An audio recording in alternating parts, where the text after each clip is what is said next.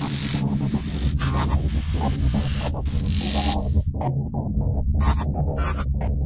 you.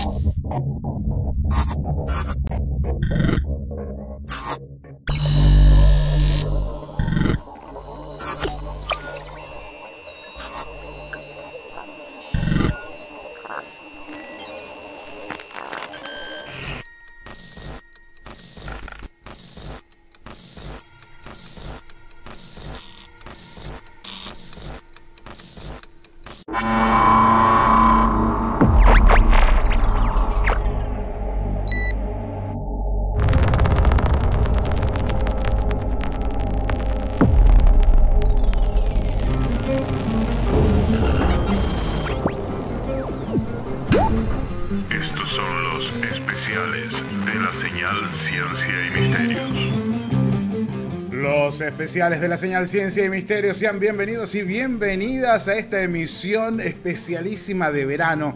Tengo que decir la verdad, estoy muy emocionado con lo que está sucediendo esta noche porque vamos a tener eh, los resultados de una investigación que podría cambiar la historia de los objetos voladores no identificados y de todas estas cosas que suceden alrededor como las conocemos. ¿Por qué? Porque esta noche estamos en conexión directa con Jack Ballet y con Paola Harris aquí en la señal Ciencia y Misterios para hablar del caso Trinity. Y no solamente para hablar del caso Trinity, sino que después también les haremos algunas otras preguntas respecto al fenómeno.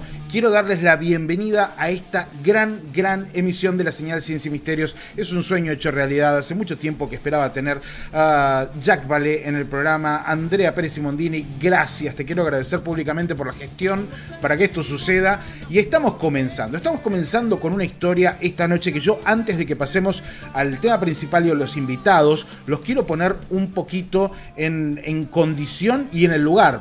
¿Por qué? Porque estamos en la señal. Bienvenidos y bienvenidas a todos, ya saben, pueden dejar su like, comentar, dejar su comentario por allí, eh, suscribirse si nos quieren apoyar, se pueden hacer miembros del canal.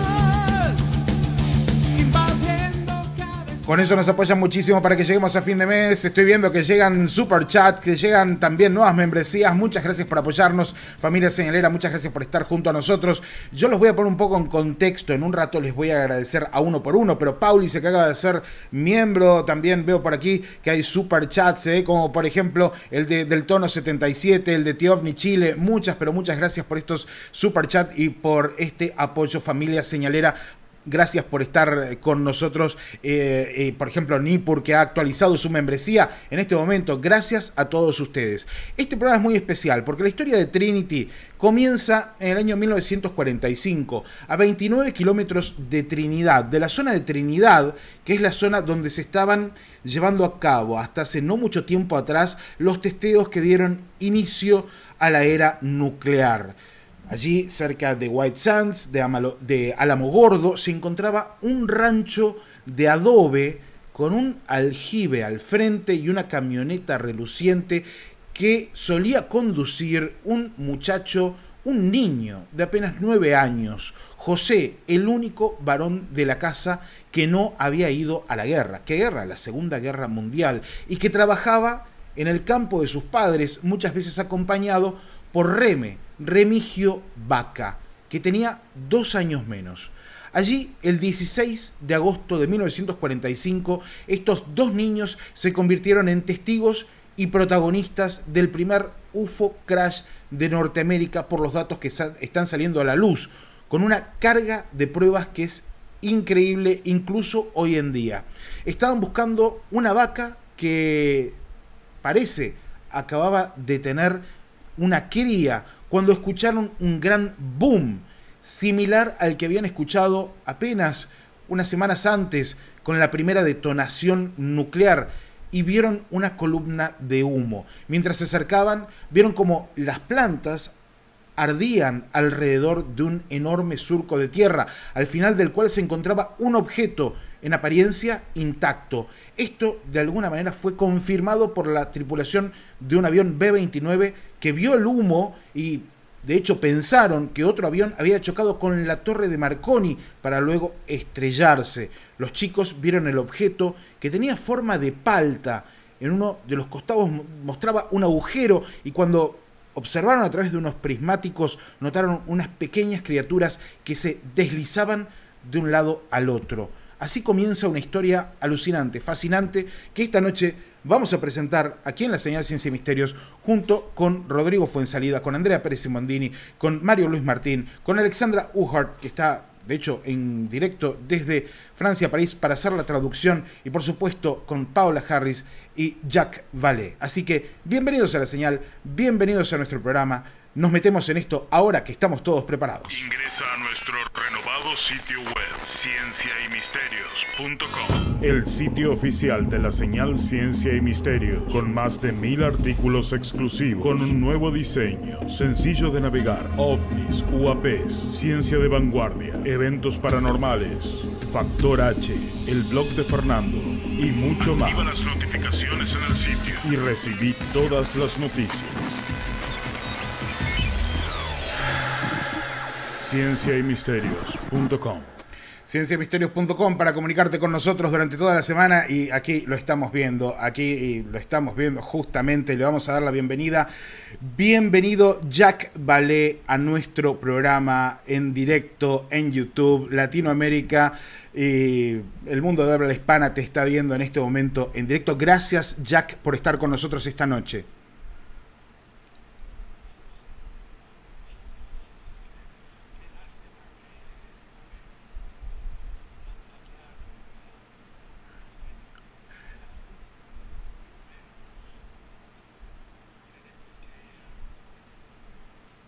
Don't worry, don't worry. Lo, haremos en inglés, pero recuerdo, antes que pasemos a todo lo demás, Jack iba a traerle hoy un poco de agua con gas, un poco de soda, porque sé que le gusta mucho. Pero aquí tengo, aquí tengo un poquito para mí. No sé si usted tiene allí cerquita. En la cena que, que compartimos, usted estábamos peleando por la soda nosotros dos. y siempre recuerdo eso. Le gusta la soda, ¿no? Sí, yeah, I like it. Absolutely. Em, vamos con Andrea Pérez Simondini. Andrea, te quiero agradecer esta noche por haber gestionado esto, por estar con nosotros. Bienvenida a la señal, querida amiga.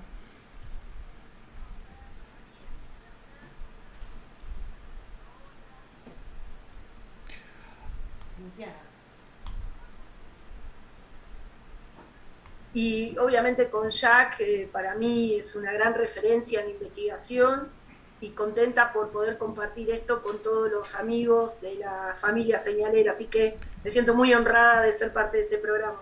Muy bien, estaba muteado el audio, no se hagan problemas, ya está solucionado, son cosas que pueden llegar a suceder. Eh, bienvenida Paola Harris a la señal Ciencia y Misterios. Welcome Paola Harris to the Signal of Science and Mysteries.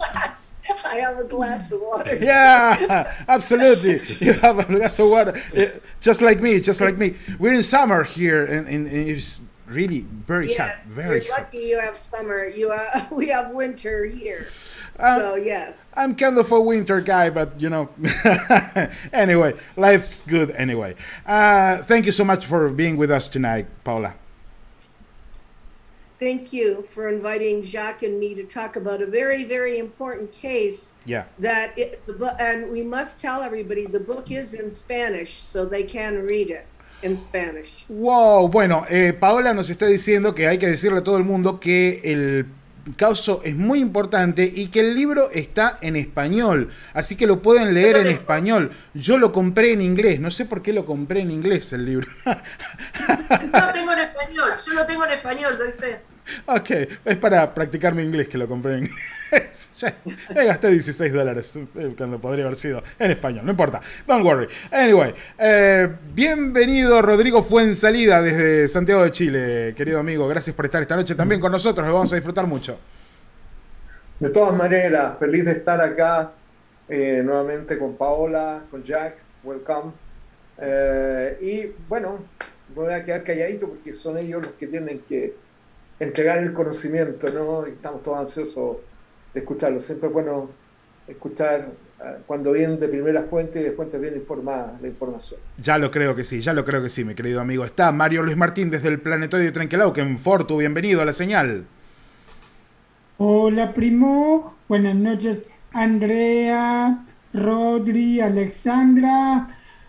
Welcome, Jack Ballet and Paula Harry to the Signal Science and Mysteries. Welcome to our house.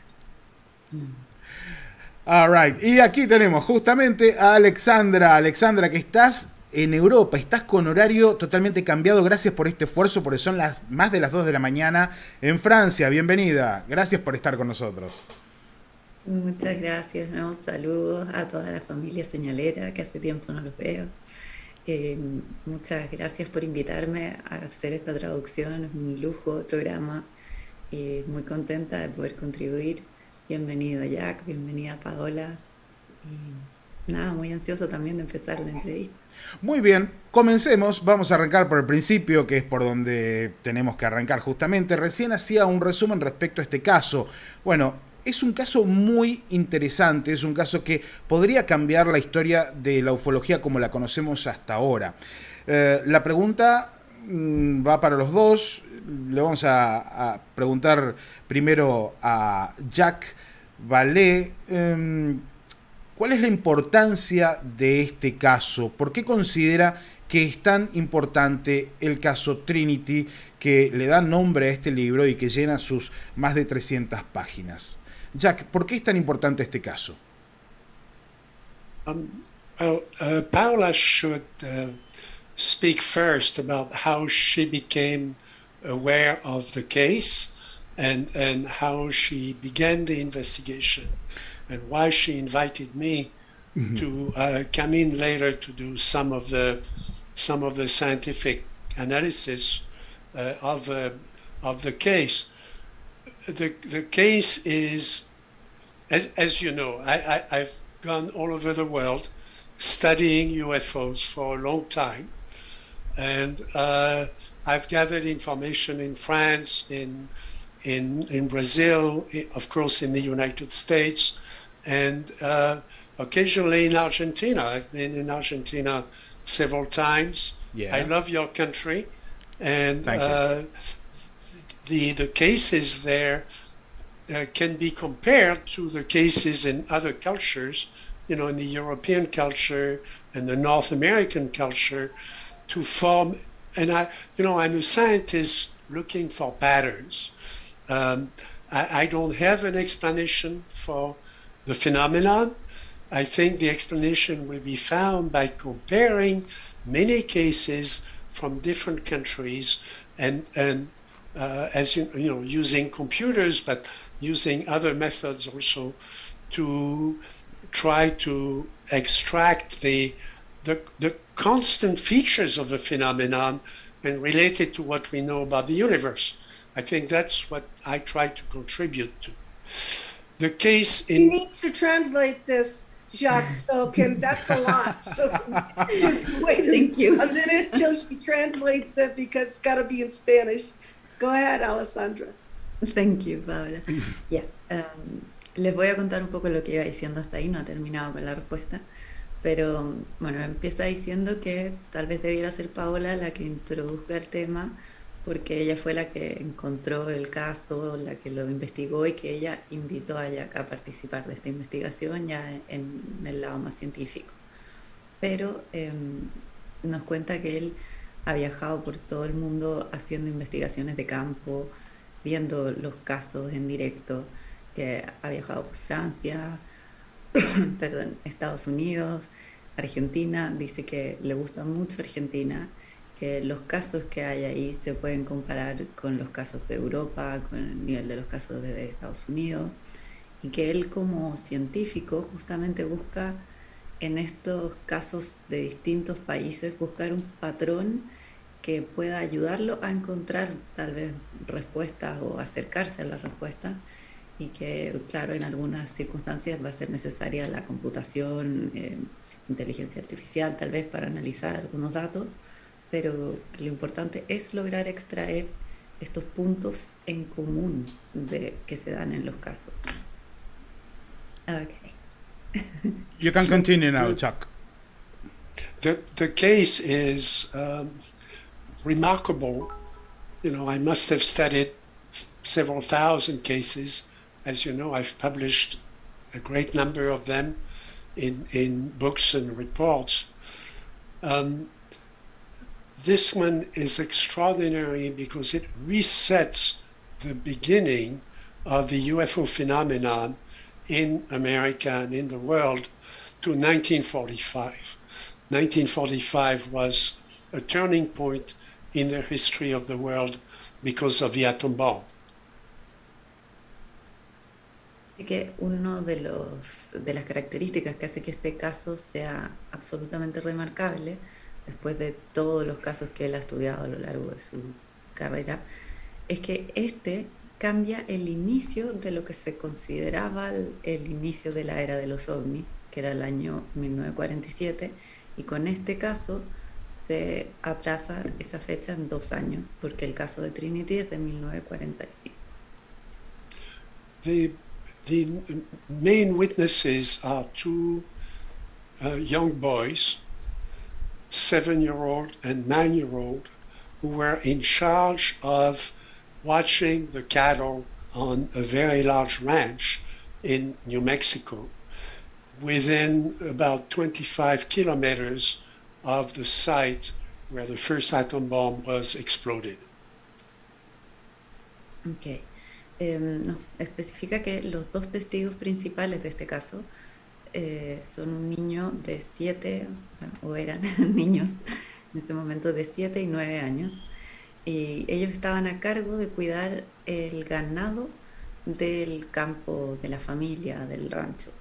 Y este lugar se encontraba a 25 kilómetros de donde se había detonado la primera bomba atómica. The, the ranch itself is a very large property. There was cattle on the ranch. The children were in charge of um, maintaining the the property, maintaining the fences around the property, and watching the cattle. As uh, I think you said earlier, the uh, this was an important time because the uh, one of the uh, cows were, was going to have a calf, and it was very important to um, to brand it to make sure that the animals were all right. So the two boys were there most of the time. They were on the property, and they were there when the object fell on on top of them and and landed within reach of where they were. Okay. Dice que este rancho donde los niños vivían era muy grande y ellos estaban casi todo el tiempo ahí, trabajaban, que estaban a cargo del el ganado, de las rejas, del perímetro, en el fondo del funcionamiento diario. Y um, estaban ahí cuando vieron este objeto. Eh, so,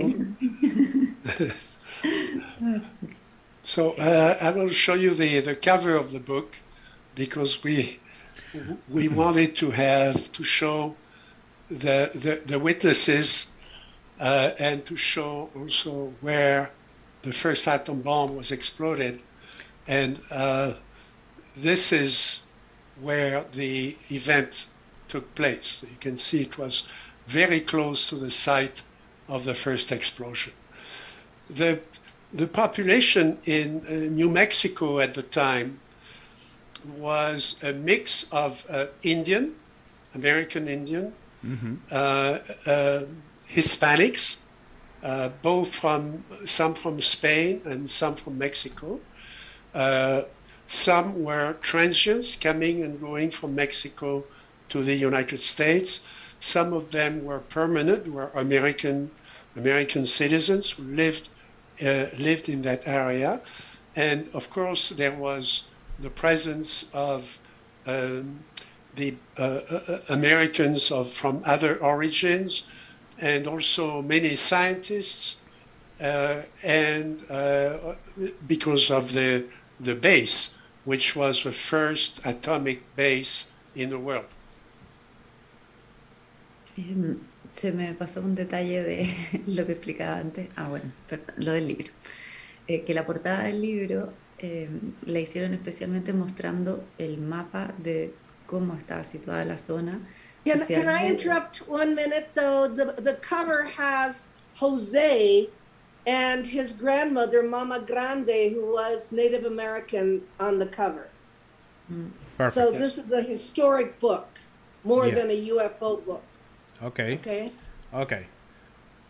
Nos dice Paola agregando a lo que decía Jack sobre la portada que aparece Mamá Grande, que es la mujer que se ve hacia la derecha o izquierda, y el niño es José, que es uno de los testigos. Eh, entonces es más un libro histórico que un libro de ufología. Y se puede ver ahí hacia arriba donde está el niño, el punto de, me parece que ahí es donde fue el crash y hacia el centro está donde fue la primera detonación de la bomba atómica. ahí se pueden ver las distancias, lo cerca que estaba este rancho donde cayó el objeto. Apenas a unos 30 kilómetros, sí. Claro. Y lo otro que le estaba diciendo es que la población que habitaba Nuevo México en esa época era una mezcla entre American Indian, españoles, gente que estaba de paso entre México y Estados Unidos, y otros sí americanos que vivían ahí, que eran de la zona. Esto sumado a científicos que estaban ahí por la base de energía nuclear. So the, the, I should say the book is available on Amazon, uh, and uh, I think can be can be ordered in just a few days. There is also uh, an e-book, an electronic book version that can be downloaded immediately from the the internet. As you know, I, I've worked a lot on the internet in my yeah. professional career, so it was. Uh, uh, very appropriate to put the book directly on on the internet so that everybody could get it very easily. Jack nos dice que el libro está disponible en Amazon, que, se, que si uno lo encarga llega en uno o dos días, y también está la versión ebook que se puede bajar inmediatamente que a él le hacía mucho sentido esta, este formato, dado que él ha pasado gran parte de su carrera en los temas de informática, trabajando con Internet. So for many readers today, it's difficult to to think of the conditions in the world during World War II. Now I'm uh, all, almost as old as some of the witnesses. Uh, you know, I, I, was born during World War II. I remember the war in Europe. Um, and I've been learning about the, the, the, the, war in the Pacific and the surrender of Japan.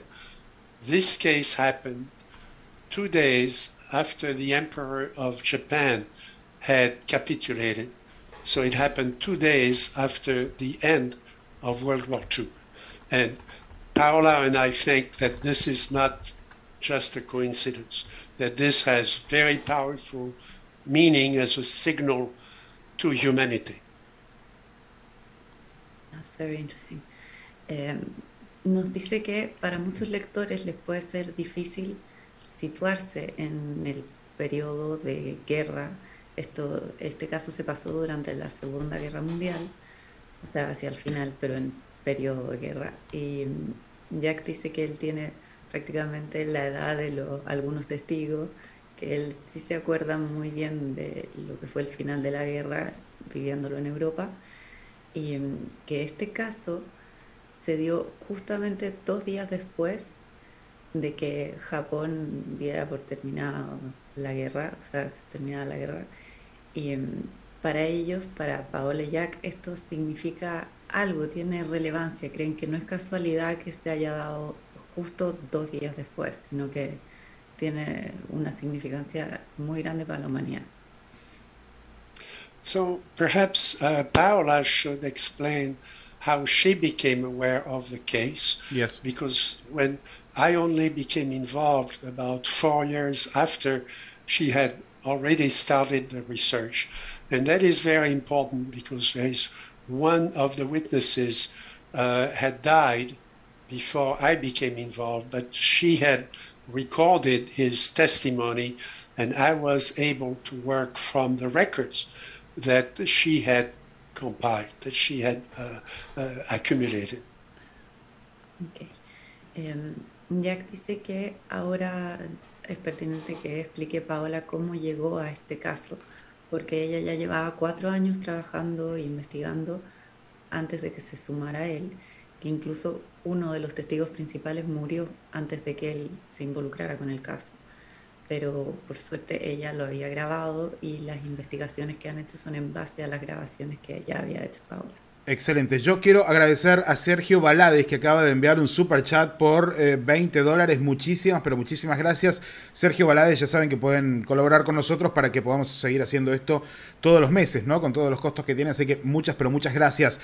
Paola Harris, bienvenida otra vez a nuestro programa, bienvenida otra vez a nuestro espacio, a nuestra casa me gustaría saber cómo encontraste esta historia, cómo la fuiste investigando, cómo te pusiste en contacto con estos testigos que hoy se nota son tan importantes eh, y, y, cómo fue este proceso que lleva a que hoy tengamos estos datos tan reveladores respecto a la historia de los objetos voladores no identificados.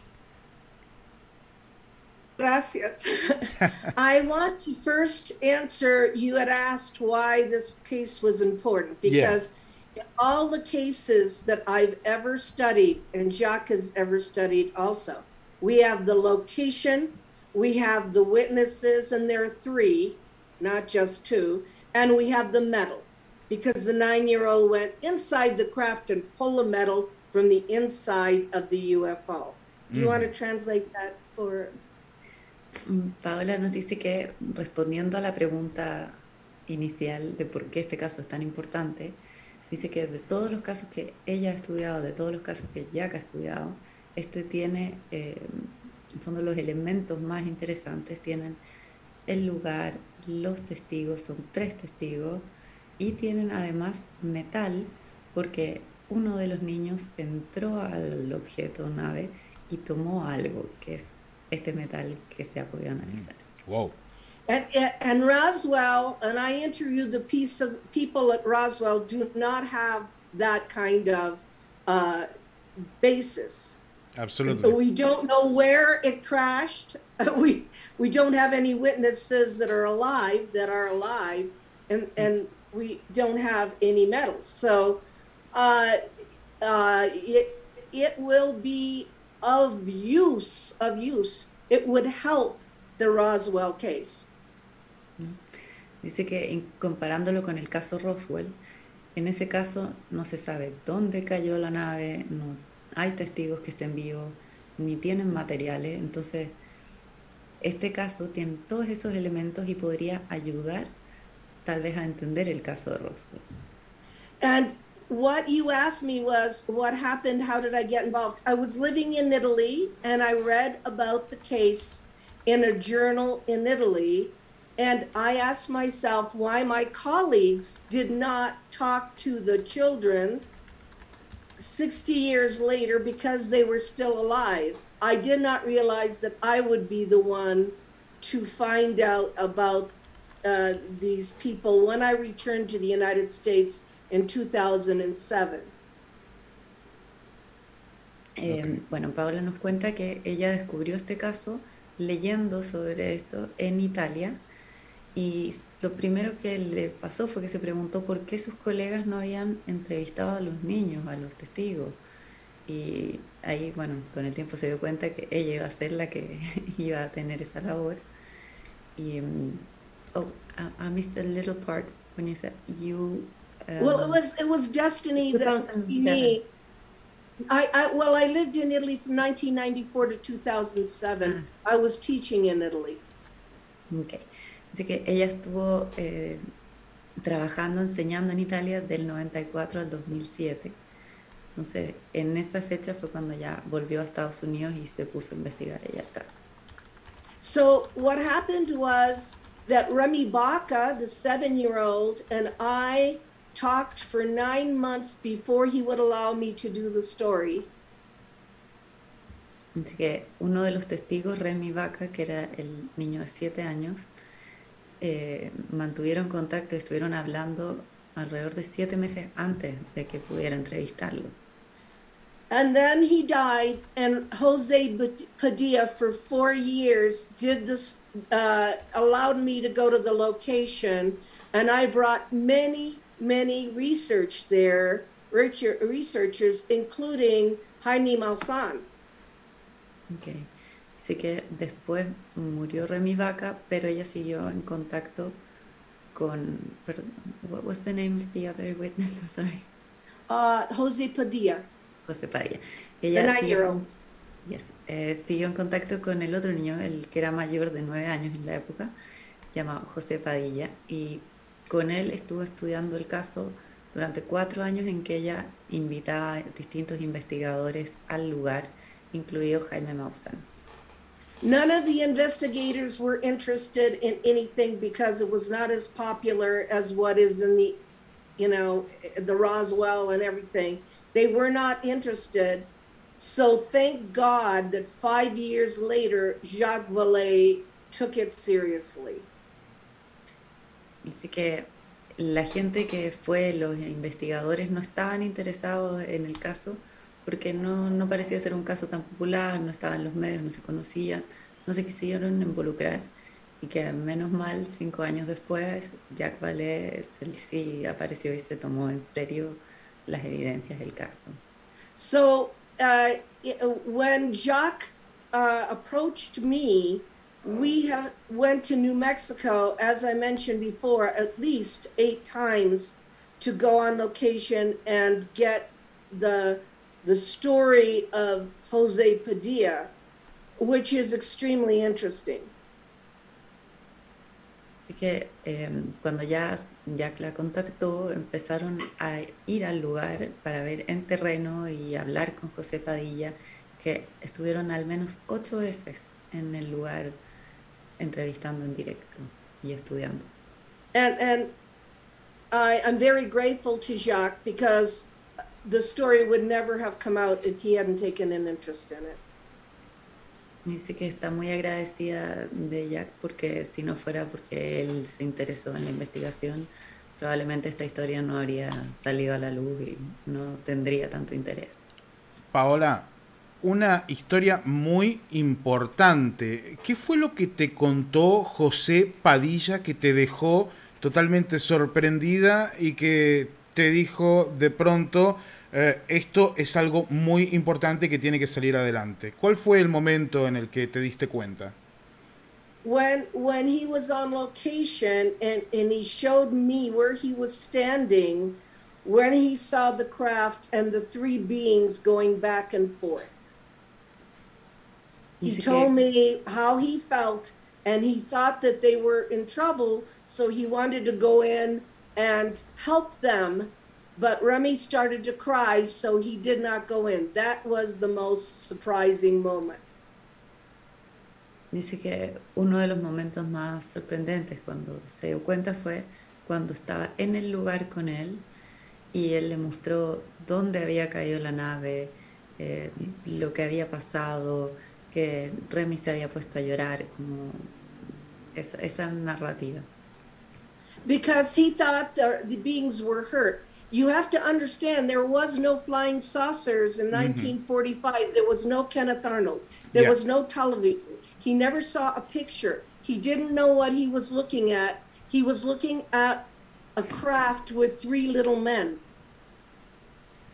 Sí, dice que él, él pensó, pensaron los niños, que estaban heridos los seres que estaban dentro de la nave y claro, teniendo en cuenta que en ese momento no se sabía lo que era un platillo volador, no, no habían fotos, esto no, no, era un tema, ellos tampoco sabían lo que estaban viendo.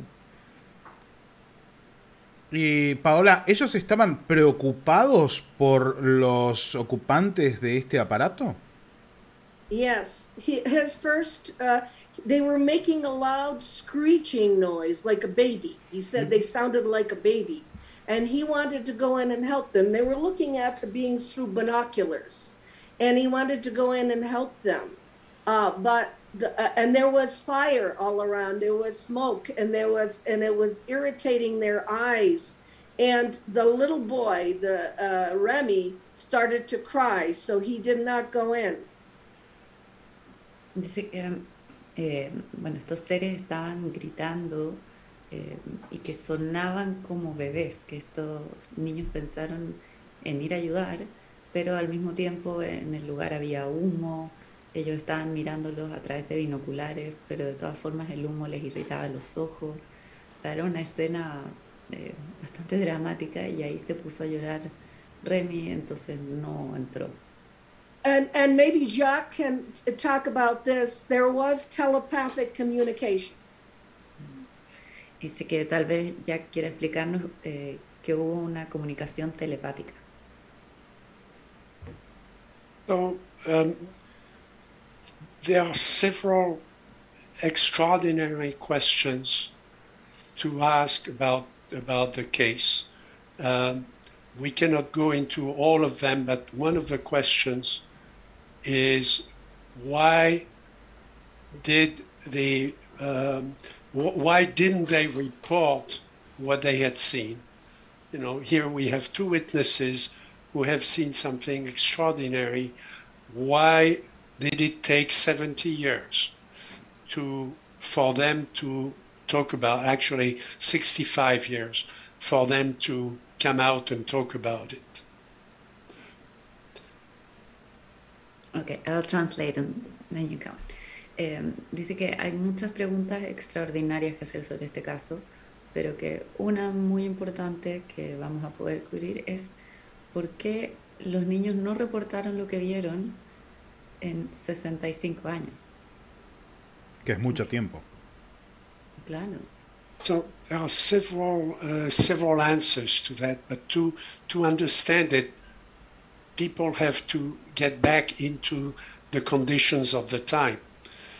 Um, Jose Padilla, who is still alive today, fortunately, and we've become friends uh, in in the course of this investigation. Uh, Jose Padilla remembered the explosion of the bomb. In fact, he uh, his ear was was hurt and he was bleeding from the ear when the explosion of the bomb came to their house. Uh, his mother lost vision in her eyes because she had looked at the cloud, at, at the, the cloud over the, uh, the, the site where the explosion took place. So th- th- they were in conditions of the end of the war and that were extraordinary conditions. All right. Mm, Bueno, nos dice que eh, José Padilla recordaba eh, la explosión de la bomba, que hay que tener en cuenta las condiciones en las que estos niños vivían en el momento que pasó lo del crash. Entonces, eh, José Padilla, cuando fue la explosión, perdió, no, no sé si perdió el oído, pero fue herido en el oído Sí. y le sangraba. eh, su mamá perdió la vista por mirar la, la nube de la explosión atómica. Entonces, podemos entender que era un, un ambiente muy complejo. Also, uh, th- their property was outside of the base itself, but it was still within the, the military area of White Sands and Alamogordo. Eh, si bien la propiedad estaba fuera de la base militar, sí estaba dentro del terreno militar, cerca de Alamo Gordon. So the in, in those days, it was very important if you if you saw anything, you should not talk about it because it could it it could be something secret that was happening, and you you knew that you would be in danger, you would be in trouble if you spoke about what you had seen. So they they remained silent after their observation. Okay, dice que eh, justamente por este clima como de posguerra, en, en esos días si se veía algo, era muy importante no contar porque podía ser algo secreto, podía ser una tecnología de Estado y, y después era peligroso andar contando. Entonces, mantenía Now, I, I can relate to that because I remember growing up in France, in occupied France. France was occupied by Germany. There were uh, there were German soldiers in the streets, and my parents had told me, you know, you don't talk to them, you don't listen to them, you just go your way, your own way, and you don't get the family into trouble. And I recognize the same behavior when I speak to um, to Jose Padilla and to you know people in that area. You, you, there still that you you can still see old posters that say if you see something, don't talk. Eh, bueno, Jack nos cuenta que él re- se puede poner en el lugar y empatizar con la sensación de estos niños, porque él recuerda que le tocó vivir la ocupación alemana en Francia y en esa época eh, estaban los soldados alemanes en las calles y la recomendación de sus papás, de su familia era no les hables, no los escuches, si los ves sigue caminando, o sea, no ir a hacer nada que llamara la atención y, y pudiera llevar la atención a la familia y generar problemas. Entonces que él puede reconocer esa misma prevención conversando con José Padilla y que incluso en el área alrededor de donde estaba este rancho se pueden ver todavía pósters que dicen eh, mantener silencio, Claro. no contar. So, what they what they saw was um, an object that came over over the- sky over them, hit a large communication tower that controlled communication in the north zone over the atomic area. The the tower was damaged. The communication stopped. The radio communication stopped the Alamogordo control base asked a pilot named Brody to see he was coming in to land inside Alamogordo. And uh, he was asked to see what had happened to the tower. Then he verified what the children are telling Paola and me. Así que em, lo que los niños vieron fue un objeto que venía cayendo sobre ellos y que en este trayecto chocó con una torre de comunicaciones. Entonces que Claro. esta torre de comunicaciones generó, por supuesto, eh, o sea, este- esta, eh, el choque generó problemas con las comunicaciones de la torre y en Álamo Gordon llamaron a un, se comunicaron con un piloto que debía aterrizar pronto y le pidieron que por favor fuera a mirar qué estaba pasando con la torre. Y al ir a mirar la torre se corrobora la información que los niños le dieron a Jack ahora. O sea, Jack, el, el piloto ve el- la columna de humo de la que hablaban los niños. Um, Um, so, so that again in, in, in English. Yeah, Yeah, uh, the, the pilot the, the pilot uh, sees the same the, uh, thing the, the, the kids were watching, yes. right? Yes, yes. The pilot was flying a bomber, you know, a four-engine bomber, the same type of bomber that uh, bombed Japan, dropped the atomic bomb in Japan. Uh, part of the same. He was part of the same team. Yeah. Um, he was coming in for a landing. He circled the tower. He saw that the tower was bent and the tower was no longer communicating. And then he saw the fire. He saw the smoke that Paola has mentioned in the, the plants, the vegetation. The object was not on fire. The object crashed, but it was still under control. It did a controlled crash.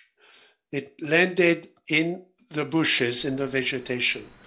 The pilot saw that and he saw Remy and he saw uh, Jose and their horses. So we know exactly, you know, this is not that the the children invented the story. We have the testimony of the pilot. Oh, great. Aquí, So it- no, it- you know, everything is He tight. called, he called them two little Indian boys, so they were not little Indian boys. But you should translate that. Ya. Dice que eh, el piloto estaba en un bombardero, en, un avión que pertenecía a la misma flota que después fueron a bombardear, o sea, que habían ido a bombardear Japón. Em, entonces en este avión él comenzó a dar círculos alrededor de la torre para ver qué es lo que había cortado las comunicaciones y en este trayecto pudo ver el fuego, eh, que habían unas plantas, vegetación en fuego, vio el objeto que se había estrellado, que no se estaba quemando, lo que da a entender que fue un aterrizaje controlado. Y también vio la posición y, y dónde estaban los niños, vio a Remy y a José y los caballos que ellos tenían. Entonces estaban, eh, en el fondo la narración la pueden comprobar desde el piloto, los niños, está todo perfectamente eh, comprobado. So why why did they remain silent so long?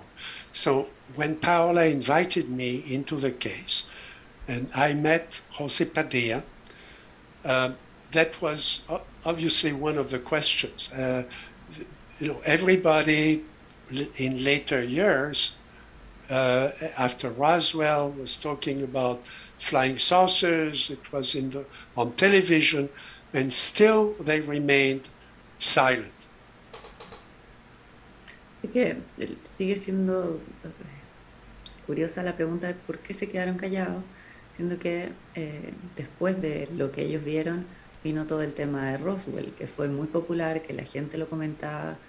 Eso habría sido un buen momento para que los niños hablaran de esta experiencia. Well, one of the reasons I've already s- said that they grew up in an, in, in a, at a time when of secrecy, of classified things, of terrible things like the atom bomb, and uh, they were so they, they remained impressed with this throughout their life. So they preserved the secrecy of what they had seen. But there was another reason. Que, em, bueno, una de las razones que él ya nos estaba comentando antes por la que se quedaron callados porque vivían en un tiempo muy complicado, o sea, la situación la vivieron en un tiempo muy complicado de secretismo, de final de guerra, de no poder comentar este, este tipo de experiencias.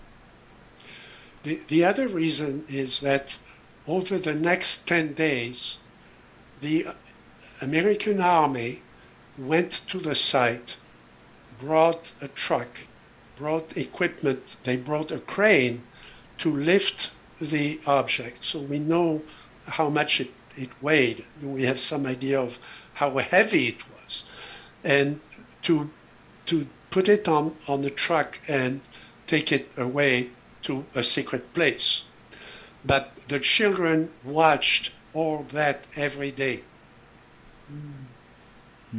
Eh, Dice que el segundo motivo es que durante los siguientes 10 días del crash em, llegó, eh, aquí no entendí si eran militares o si eran lo Los militares, sí, los militares. militares. Claro, llegaron a analizar el lugar con equipo, camión para poder llevarse el objeto.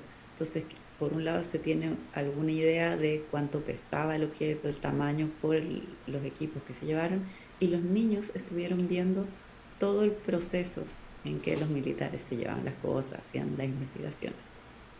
So in the book, uh, I'll show you briefly the, uh, the diagram, I've been able to reconstruct every day what the children were doing, what the army was doing, and I reconstructed the temperature, the weather, and what they, uh, what actually happened at the site every day. There is no other case where the witnesses were there on the first day.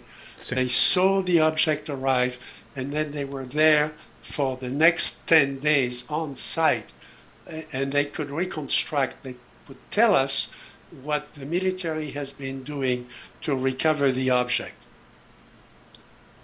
Así que, eh, bueno, en el libro él incluye una tabla donde muestra día por día eh, lo que iba pasando en el lugar, desde los niños, lo que hacían los militares, la temperatura que hacía. Entonces tienen eh, todo el detalle de cómo se estudió el caso de parte de los militares y que no hay otros casos así en que hayan cuentas tan precisas o testigos, testimonios tan precisos de lo que fue pasando desde el día del crash hasta 10 días en adelante, cómo se hizo cargo el gobierno, los militares, de hacer el estudio y la investigación de lo que quedó del lugar.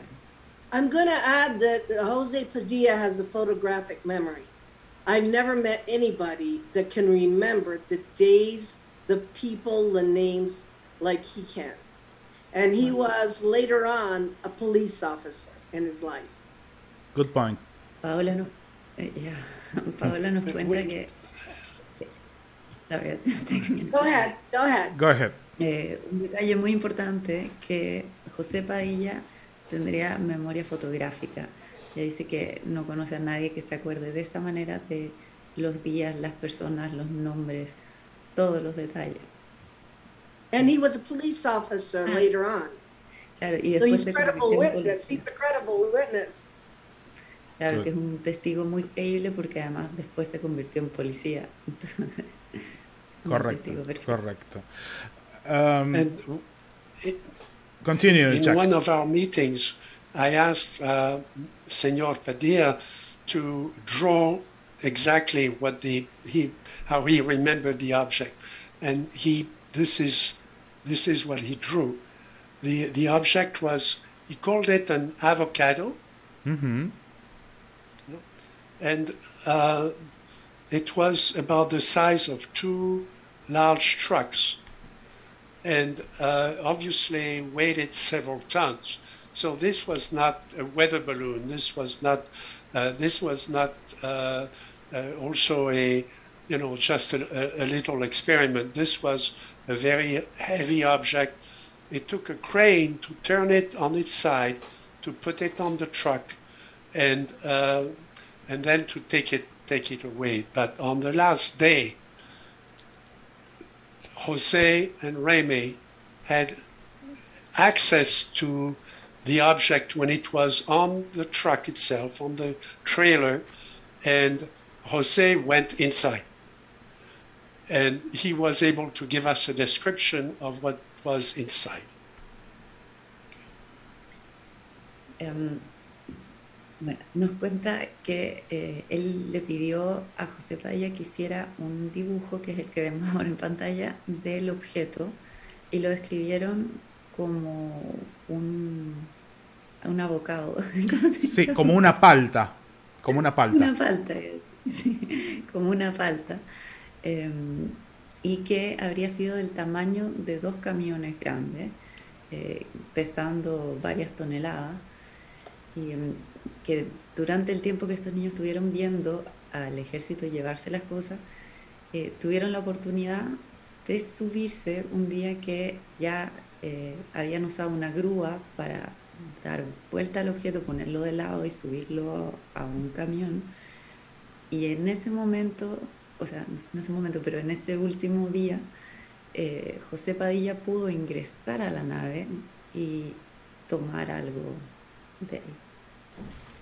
So when uh, he, the soldiers were away having having dinner uh, close a, a few kilometers away, uh, and the, the object was left on the truck, and uh, Jose went inside this avocado, which was very large, very tall, very high, and there was one piece of equipment that remained that he decided he wanted a souvenir.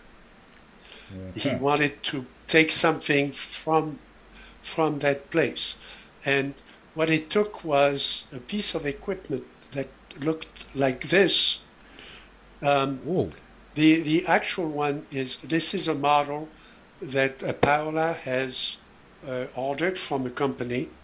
Uh, the the actual one was twice as big, twice as large, and uh, the it was it could rotate, you know, around an axis, and it could activate some devices at both ends of it, and it was rotating around a circle that looked like a copper circle inside the object. Dice que, eh, bueno, estos niños tuvieron la oportunidad de subirse al objeto porque los soldados que lo estaban cuidando se habían ido a comer y dejaron el objeto ahí. Qué loco. Entonces, claro, Sí. uno pensaría que tienen guardia 24 horas, pero no, lo dejaron ahí. Entonces, eh, José Padilla decidió ingresar y quería llevarse algo, quería llevarse un souvenir.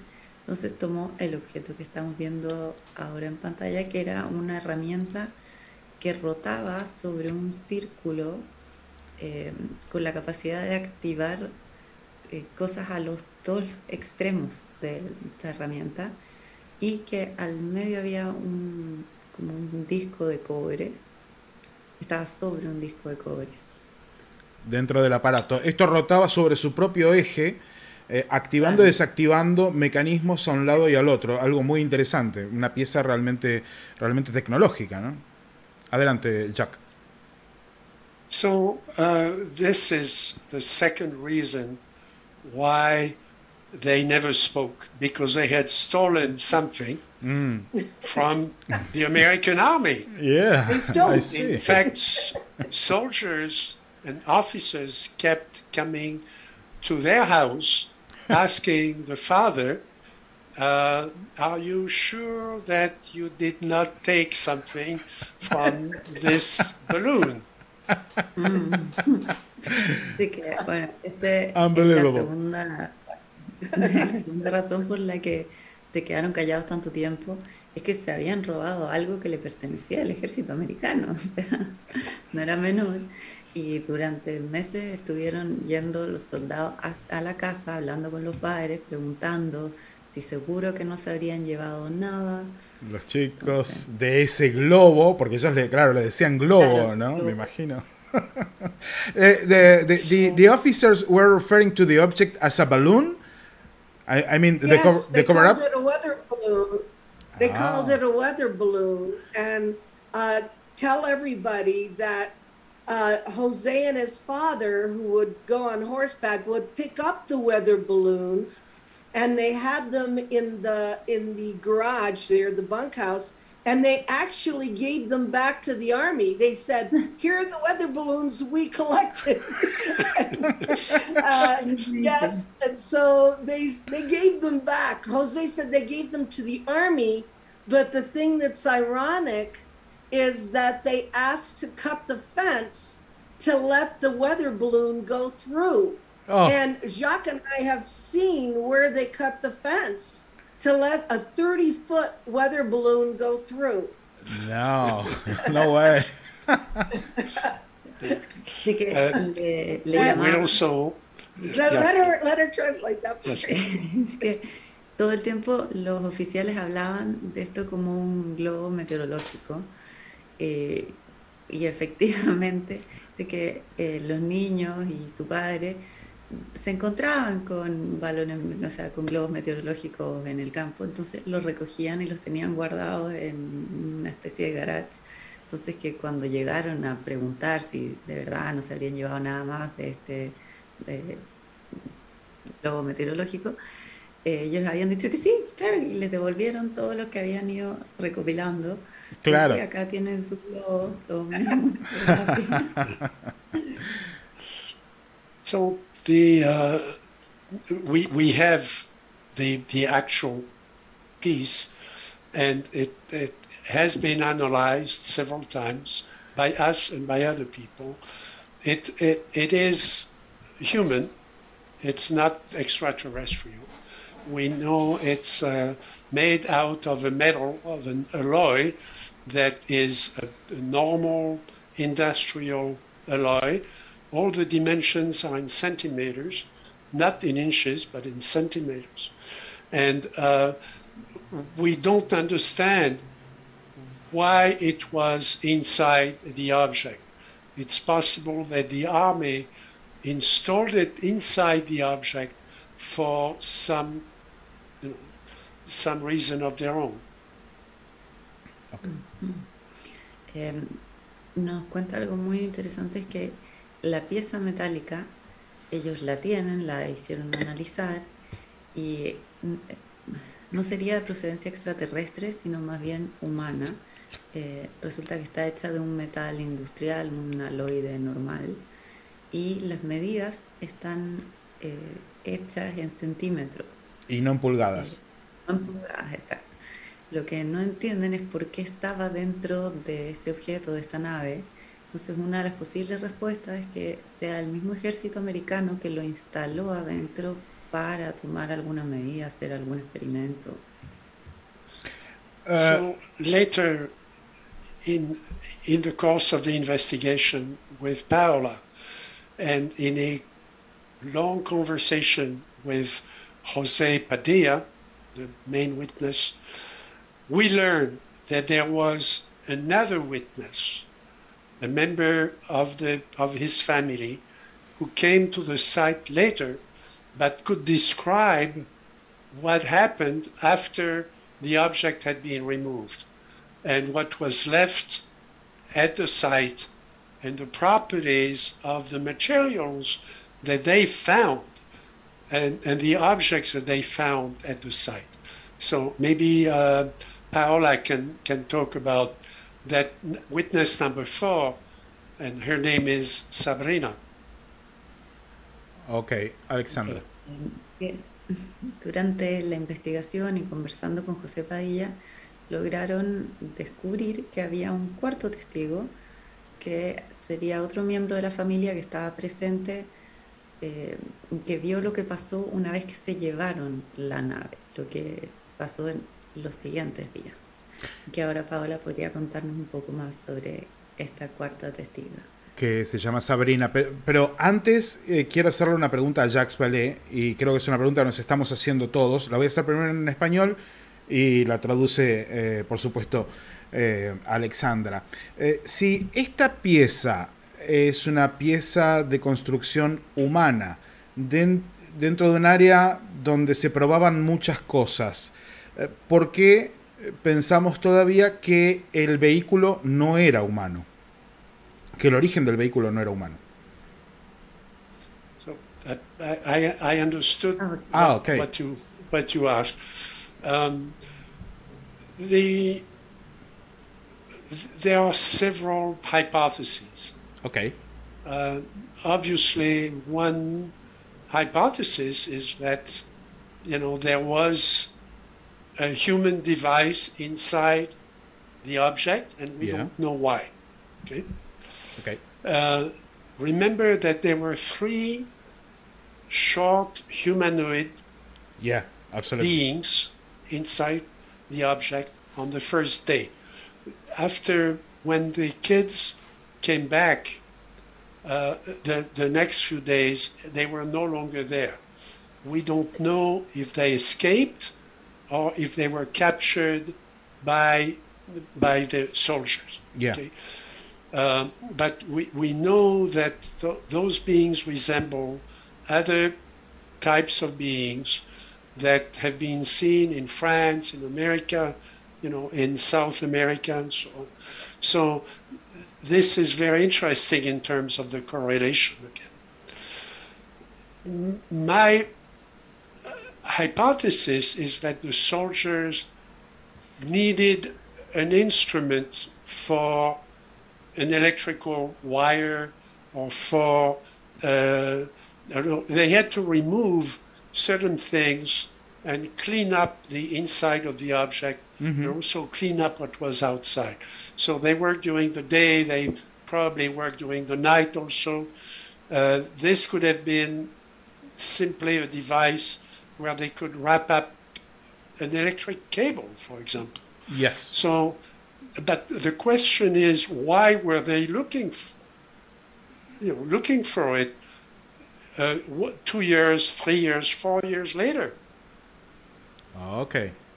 That's we interesting. Don't know that. Good point. So it wasn't our. it was not our technology. So. Well, They and should he- translate. Should Yeah, translate but it. he he asked you if, what, what, uh, is, do you think it's extraterrestrial? I mean, it wasn't our, that, that avocado was nothing we built, right? I don't think, Okay. Okay. yeah. Uh, let me let me uh, uh, mm, uh, make some space for Alexandra to translate, and we'll go with you, Paula, because I, I found what you said just now really interesting. Alexandra. Ok. Bueno, sobre la pregunta que le hacía Fer a Jack de, en el fondo, ¿por qué pensamos que esta nave sí sería extraterrestre si se encuentra una herramienta eh, de fabricación humana? Él dice que hay varias hipótesis. Lo primero sería pensar que hay un instrumento humano dentro de la nave. Segundo, o sea, cosas a considerar más que hipótesis, pero el segundo, que habían tres seres que estaban ahí el primer día, que son los que vieron los niños que estaban llorando, y no sabemos si esos seres se escaparon o si fueron capturados por el ejército dentro de esta misma limpieza que hicieron. Y eh, estos seres que vieron los niños se parecían a seres vistos en Francia, en Sudamérica, descripciones que se han hecho alrededor del mundo.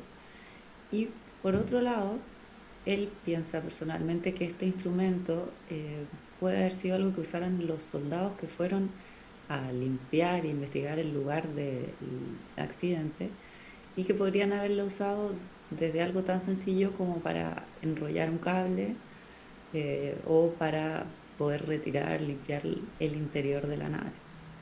Correcto, correcto. Y Paola agregó que ella piensa que esa palta que se ve en ese advocado que se ve allí en ese lugar no era un vehículo terrestre.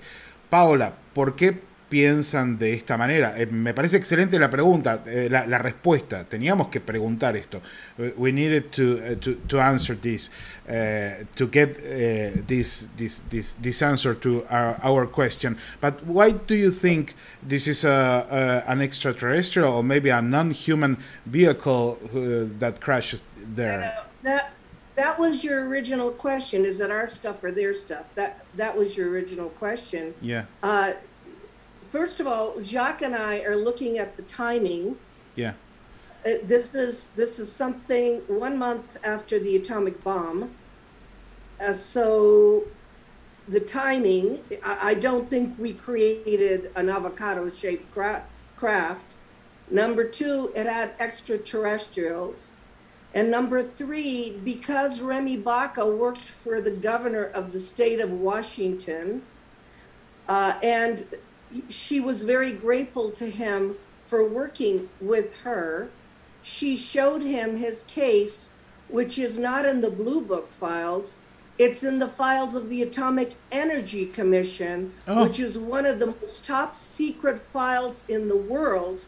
Not even the president could go there. Mm-hmm. And so, for those three reasons the, the timing, the creatures, the message that was there, and the fact that Remy Baca was shown his case, uh, it's in the Atomic Energy Commission files. Así que eh, para ella los motivos por los que esto debe haber sido algo extraterrestre y no humano empiezan, bueno, porque para empezar, eh, viendo el tiempo en el que esto pasó, fue un mes después de la bomba atómica y no habían construido, no, la humanidad no tenía todavía la tecnología para hacer una nave como una palta, eso no había.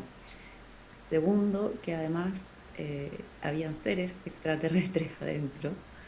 Y tercero, que Remy Baca logró, o sea, él trabajaba para la abogada del estado de Washington y eh, logró ver el caso, ver los archivos que est estaban dentro de los archivos del Comité de Energía, que son de los archivos más secretos que a veces ni siquiera el presidente tiene acceso a ver eso. Entonces que por esos motivos parece que es imposible que haya sido algo de factura humana. Bien. Bien, quiero agregar, además, y discúlpeme un segundito, voy a agregar el tema de la Comisión de Energía Atómica. Es así, es realmente muy secreto. Ustedes imagínense que el, proyecto, el proyecto Manhattan se había estado desarrollando hasta hacía muy poco tiempo, que el desarrollo de la, de la, de, la eh, energía nuclear como, como un arma en los Estados Unidos era un tremendo secreto de Estado y estaba a cargo de la Comisión de Energía Atómica. Todo lo que pasaba allí era tremendo secreto, o sea, no era un simple secreto, algo eh, como, bien dice Paola Harris, ni siquiera los presidentes tenían acceso full a la información. Entonces, eh, esto es fundamental para comprender también el contexto de lo que estaba sucediendo en el momento. Si allí estaba metida la Comisión Nacional de Energía Atómica de los Estados Unidos, quiere decir que había un altísimo secreto alrededor de todo esto y que de ninguna manera la información podía escaparse ni siquiera al mismísimo presidente de los Estados Unidos. Paola, adelante.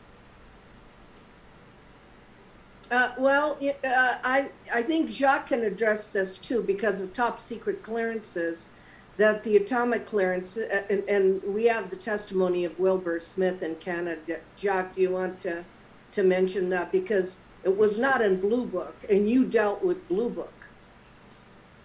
Well, as uh, Paula is right. Uh, I, in as as you may know, I I had I worked with Dr. Heineck, who was a consultant to the Air Force. I went through the entire Air Force files of, of you know 25 years of data in the United States. I converted this to a, a computer file so that I could do analysis and statistics on the data. This case is not there. Mm-hmm. Uh, I also had the you know the occasion to speak with people who were interested in the phenomenon and had very high clearances. They had never heard of this case. Now, in the United States, there is a separate type of, of secret classification mm-hmm. just for nuclear uh, nuclear studies, and it's uh, uh, a Canadian researcher was working with the uh, uh, with the American no U.S. authorities was told that the that the, the, the case, those cases were classified higher than the atom bomb. Mm-hmm. And so what we have here is a case that has remained completely unknown for 70 years. Perfect. Alexandra. Dice que él trabajó con el doctor Heineck cuando era consultor de la Fuerza Aérea y después él se encargó de digitalizar los archivos de Blue Book, por lo que tuvo acceso a ver todo lo que había y este caso no estaba dentro de esos archivos y que justamente eh, la clasificación de estos casos es tan alta que está por sobre los casos de eh, temas nucleares eh, y que esto de alguna manera no explica por qué un caso con tanto evidencia no se conoce en 70 años. Claro.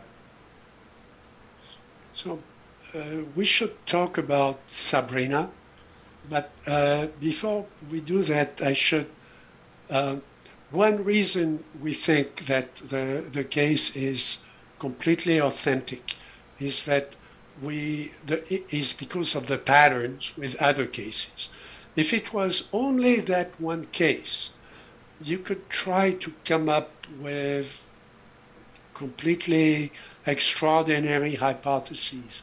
You know, maybe there was some spy who wanted to, uh, you know, expose something about the uh, American nuclear facility, or maybe there was some extraordinary thing. But let me show you two other cases that I have investigated at length that are similar to the, the case uh, in 1945. Yeah, It's absolutely. the case in Socorro, which is close to that place in New Mexico, and the case in Valençol in, in France that I've also investigated.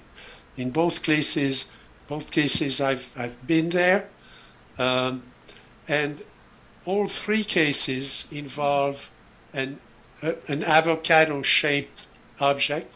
I don't know if you can if you can see it uh, very well.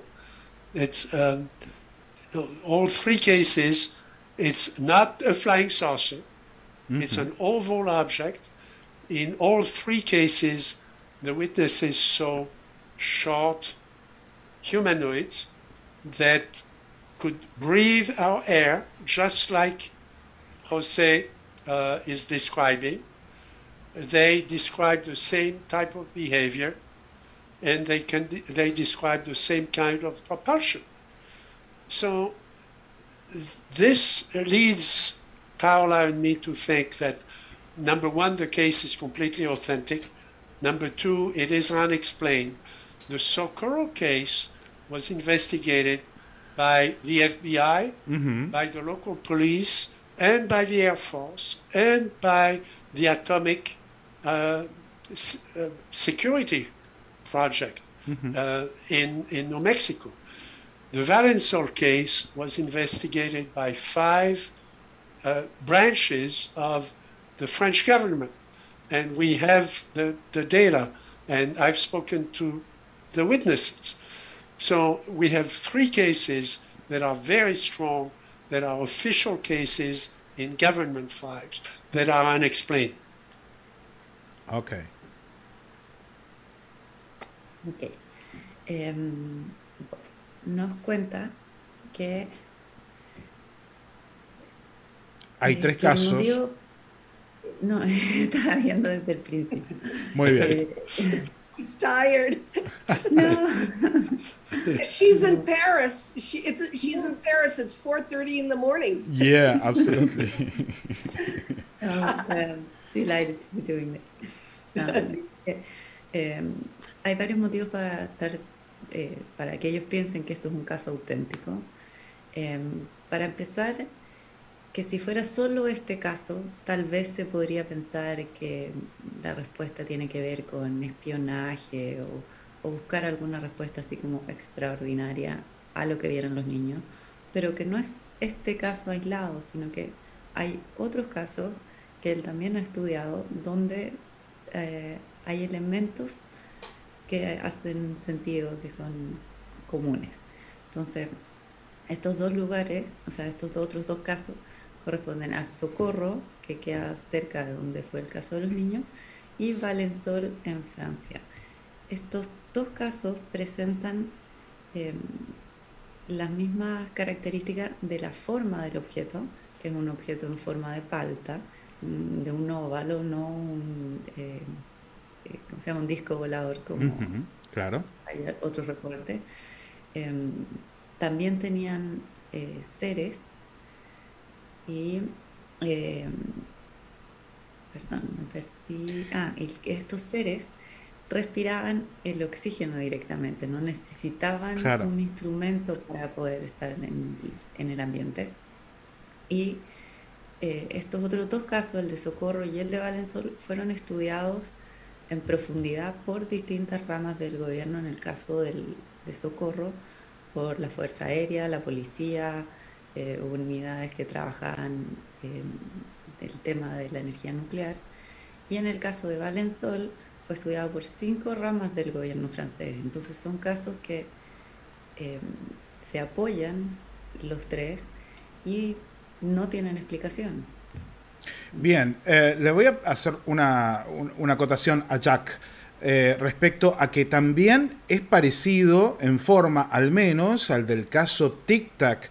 Eh, nosotros aquí entrevistamos a Alexander Dietrich en su momento, una de los pilotos testigos del caso, y nos da una descripción muy parecida, un objeto con esta forma ovalada, oblonga, alargada.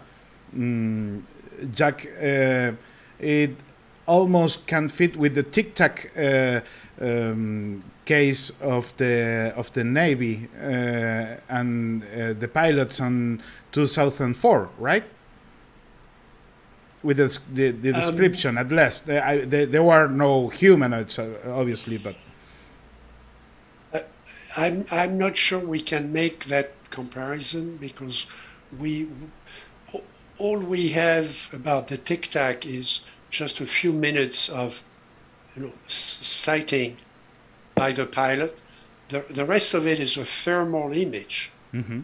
Uh, you know, it, it's an electronic image of the temperature. Yeah. It's not an image of the actual object. So we we really don't know.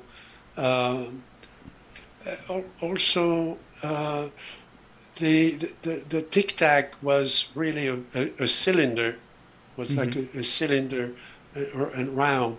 This is not a cylinder. This is really an oval. Remember, the the reason they needed a crane. Uh, you know, if I take the, the this mouse, you know, as an example, Yeah. um, they they they needed to put it on this side so that it could go under a bridge on the road. Ah. It would, you know. Ah. so th- Oh, they they needed a crane to lift it, Yeah. and uh, we we we went into the details of the truck and how they lifted it, what kind of crane it was, to ha- have excuse me to have an idea of the weight Mhm. and uh, the weight was at least two tons. It must have been between two and five tons. Ok. Dice que em, la verdad no podríamos hacer esa comparación porque em, el Tic Tac tenía otra forma, una forma más cilíndrica en lugar de ovalada como vemos en el caso que estás mostrando en pantalla y los tres que nombré. Em, otro factor es que solamente se tiene como prueba del Tic Tac una imagen de la temperatura del objeto. Fondo no es ni siquiera la imagen del objeto en sí mismo, sino como la, la huella de temperatura. Em, y en cambio, en el caso de Trinity, es este objeto ovalado que de hecho era tan grande y tan pesado que tuvieron que usar una grúa para girarlo y que pudiera pasar por debajo de un puente. Dice que se calcula que tiene que haber pesado entre 2 a 5 toneladas. Perfecto. Quiero eh, abrirle un poco el juego también, eh, porque estamos acá ya hace rato. Andrea Pérez Simondini, yo me imagino que tendrás preguntas sobre el caso para hacerle a, a Paola o, o a Jack. André, querida amiga. Si estás por allí.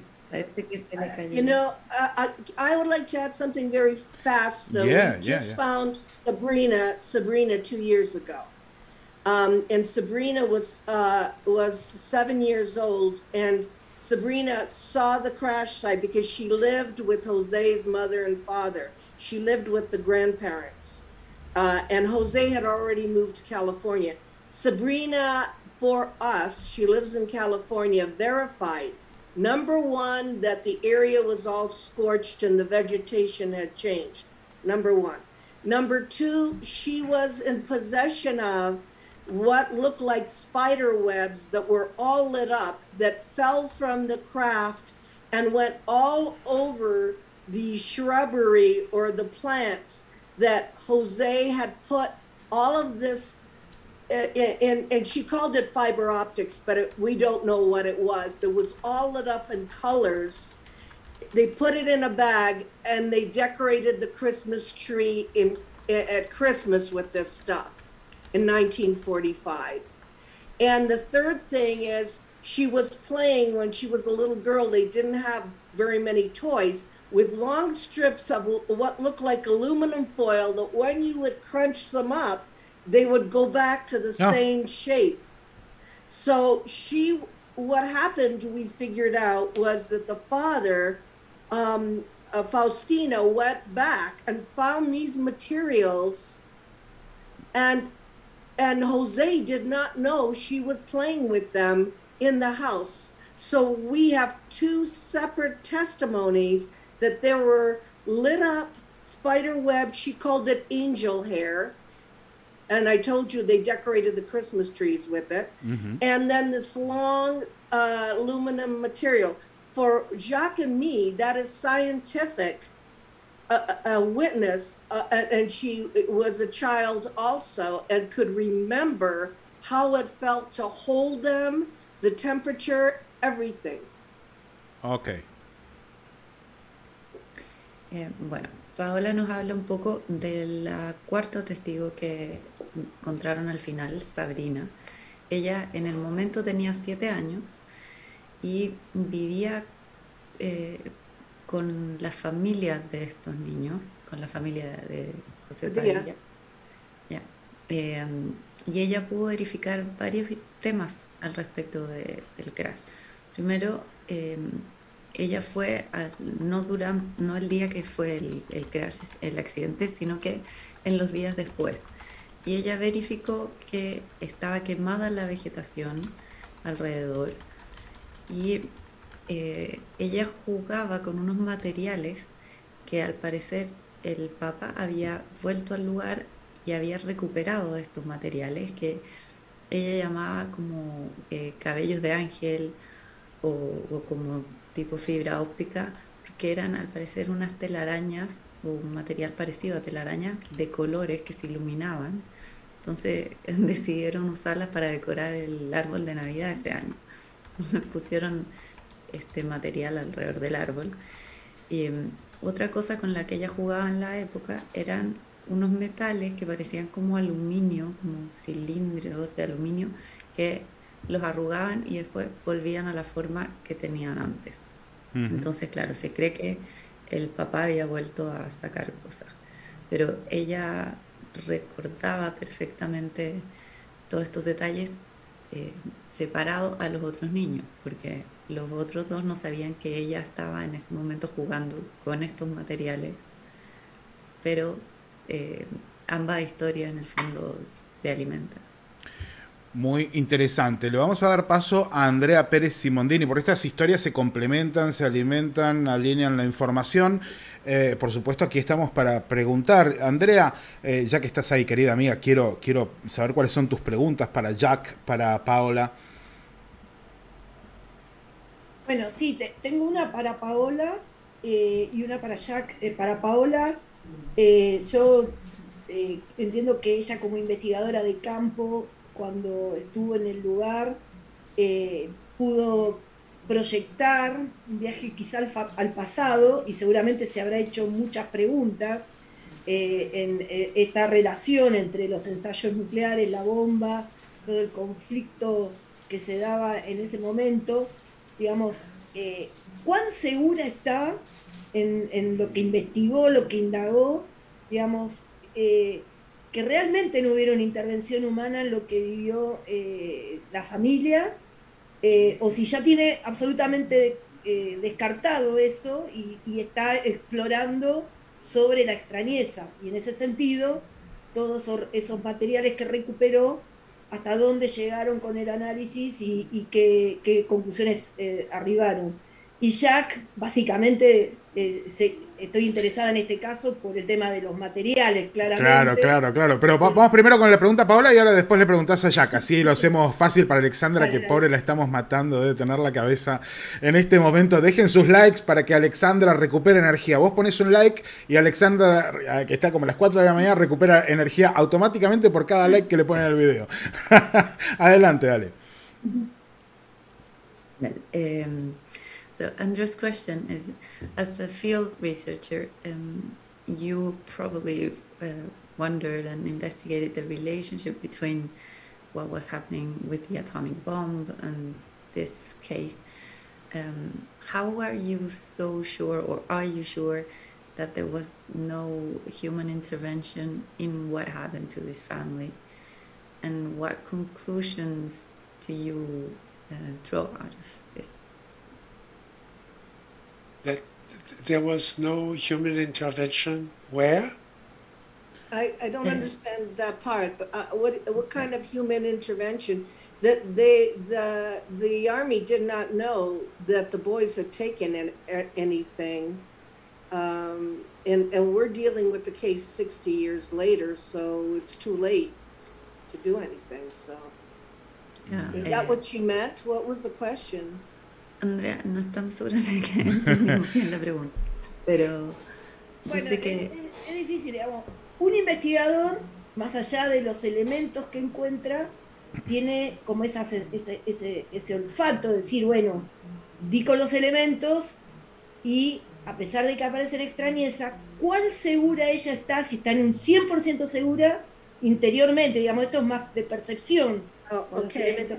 How- why do I believe that it's a real case? Well, because when you work nine years, with- nine years, okay, it's not two years, it's nine years, uh, and the children are telling you, and they live in different places, the same story. It is not an invention. And you, if you have a background in field research, you can tell if people are telling the truth. Bueno, eh, Paula dice que después de trabajar durante nueve años en esta investigación, eh, que no son dos, son nueve años, que, y, y de estar hablando con los niños, eh, que además vivían en lugares diferentes y coincidían en la historia, eh, dice que entre eso y la experiencia de hacer trabajo de campo, que, que uno se da cuenta rápidamente cuando alguien te está mintiendo, alguien te dice la verdad, y que para ella era absolutamente verdad. Excelente. Thank you. Well, Okay. uh, Yeah, Jack. it, it it's not an invention because we ha- remember the, the the pilot of a bomber saw everything that the children are describing. He saw that the, the tower that had been bent, he saw the fire in the vegetation, he saw the object, and he saw he, he can place the two little Indians who were not Indians uh, at, at the site. So he, he sees all of that, he sees the fire, and he described exactly what the children are describing. Okay, that's one, number one. Numero uno. Número uno. Dice que eh, una de las razones por las que están tan convencidos de este caso es porque además se tiene el testimonio del piloto que corrobora todo lo que vieron los niños. El piloto vio la torre dañada, eh, los niños a los que él llama los pequeños indiecitos, aunque no eran indiecitos, el fuego, el humo, todo coincide. Ese es el primer N- numero dos. Um, we have that, uh, you know, the, the, the testimony of the fact that the head of the Atomic Energy Commission, uh, who was the governor of the state of Washington, showed the the file. He he did not give the file to him, but she showed the file confirming the sighting oh, by Remy Baca. Okay, and we have other people that Paola has found recently who knew Remy Baca and can confirm what happened before Paola met him. Okay, Ok, um, em, Así que además, como punto número dos, está el testimonio de la Comisión de Energía Atómica que tenían el archivo sobre lo que había visto Remy Baca. No le dieron el archivo, pero sí se lo mostraron. Entonces, eso también es un punto muy importante. Um, numero tres, uh, when you invent a story like that, why would you keep silence? Why would you be terrified by the story for 65 years when we know what these men did in their conduct? You know, uh, as, as Paola says, uh, uh, Jose Padilla was a uh, was a uh, uh, in the police was a policeman in California. He had been fighting in Korea. He had two bullets in his body, one that he received at the Korean War, and one when he arrested a criminal in California. These were not stupid people. Yeah. These were men of responsibility all their life. El tercer punto es que eh, ¿para qué iban a inventar una historia así y no contarla? Claro.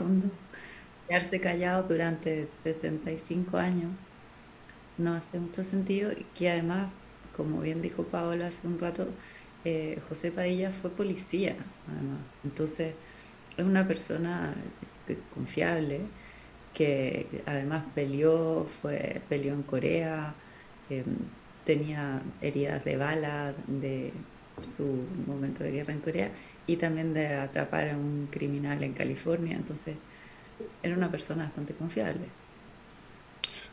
The, the other thing that we have is, you know, uh, Sabrina is not trained in science. Mm-hmm. She's not a technical person, but she's very smart. She's a nurse uh, in Los Angeles, in a hospital in Los Angeles. So she has a place of responsibility. She's an operating room nurse. You know, she's attending operations. So she's a very responsible person. What she describes in in her very natural way of of speaking is extraordinary Mm-hmm. because it matches things that have been hypothesized in physics that she could not possibly know that that would validate certain experiments and would validate what was seen later at Roswell. Ah, So, but Roswell is two years later. mm-hmm. And that's what she describes finding at the site with her grandfather. ok. Eh, bueno, dice que el cuarto punto es el testigo, o sea, es la cuarta testigo también, Sabrina, que ella, mm, al- no siendo científica, de todas formas es una persona muy responsable y confiable, enfermera de Los Ángeles, una persona que eh, se le permite estar en una operación, asistir en, en algo tan importante, es alguien responsable que da un carácter de testigo creíble Sí. y que además cosas que ella cuenta coinciden eh, con eh, experimentos y estudios que se estaban haciendo en la física teórica que ella no tenía cómo saber. Entonces, Sí, perfecto. Perfecto. Eh, Andrea, le querías hacer una pregunta específica a Jack sobre Sí, metamateriales. Fundamentalmente eh, la parte física, eh, porque este caso me fascina, me fascina Sí, por dos es cosas. por fascinante. el- el- es es el, el- todo el entorno histórico con la relación con hechos históricos y la evidencia física y testigos y, mucha relación con testigos realmente importantes. Pero hay elementos físicos y la historia los trajo a la mano para que ellos lo analicen. Y yo como sigo muy de cerca por interés particular sobre los metamateriales, eh, estoy siguiendo también la línea de que arrojó el resultado de los estudios de lo que se recuperó del caso. Creo que había base de aluminio, si no mal entendí, en lo que contó Paola. Sí, sí, sí, sí. lo que. Bueno, ¿por qué el aluminio, el magnesio so- se convierten en los elementos bases? Si hay coincidencia en lo que él vio en ese material con respecto a lo que viene estudiando en los, en los restantes materiales de hechos extraordinarios. Ok. um, So she, um, she's asking, Why aluminum and magnesium and are, are, are, are maybe the, the, the, the north uh, of your investigations about uh, extraordinary cases? and but she's asking why there's something about the material. Yes, um, Did I, did I understand that? sí, Yeah. Andrea, ¿tú querías saber por qué? Claro, Mm. ¿qué, qué, qué, qué arrojó el resultado del material que recuperaron de ahí?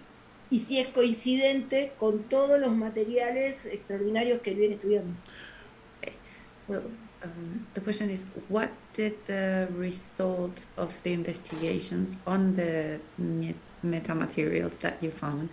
What did these uh, investigations conclude, and do they fit with other investigations about other metamaterials you might have found in other cases? So um, we we have just published uh, a scientific paper on the first investigation that we've done uh, of a case, another case in Iowa, uh, called Council Bluffs. It's a, a small town uh, in in the state of Iowa where an extraordinary object was seen, and there was a deposition of uh, metal in a state of fusion, and this was analyzed. Uh, this, this is not a case which is well known in, you know, UFO by UFO uh, investigators. It's a, a case that where I, I've been investigating the case, and I have a complete file on the case, and we just and we have the material, and we have done the study of the isotopes of the material, and we just published it, and for the first time, in a a top scientific review Wow. in uh, in in physics. Uh, so uh, and I can send it to you. Uh, it was just published last month, and we want to do the same thing. Uh, Andrea, we have now done the same uh, process with the material that you gave me when I was at your museum, and we are going to do the analysis, the same analysis with your material. Por supuesto que sí, lo voy a recibir con gusto. Pero- Ok, adelante Alexandra, adelante Alexandra. Para, para, para, para, Andrea, que, que trans- eh, traslada esto a Alexandra y ya seguimos, ya seguimos. Em, bueno, dice que eh, acaban de publicar una investigación sobre un caso que no es muy conocido, que se dio en Iowa, donde también hay un objeto extraordinario y deja metamateriales. Entonces que el material que se vio ahí, ellos lo tienen, lo estudiaron y eh, est- estudiaron los isótopos de este material. Entonces, la publicación que acaba de salir hace un mes en la revista Physics da cuenta del resultado de esos análisis y ahí también él dice que van a hacer esa misma investigación con el material que le pasaste o que vio cuando fue a tu museo. Que ahora van a desarrollar eso mismo. Sí, Eh, bueno, le agradezco el envío, que lo voy a recibir con mucha alegría, pero mi pregunta en realidad junta a por qué todos los casos que yo sé que él está investigando, los elementos que siempre aparecen son en base a aluminio y magnesio, con isótopos de aluminio y magnesio diferenciados, que si en el caso de Trinity, él puede ver, observar como la misma línea. Ok. Okay.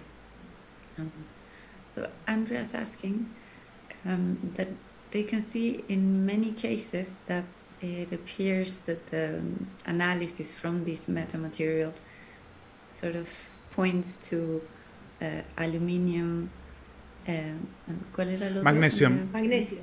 and Magnesio. magnesium as, um, as part of the results. Did you get the same sort of results with the Trinity materials? Or no? And why do you think these two metals keep showing up? Kind of? Um,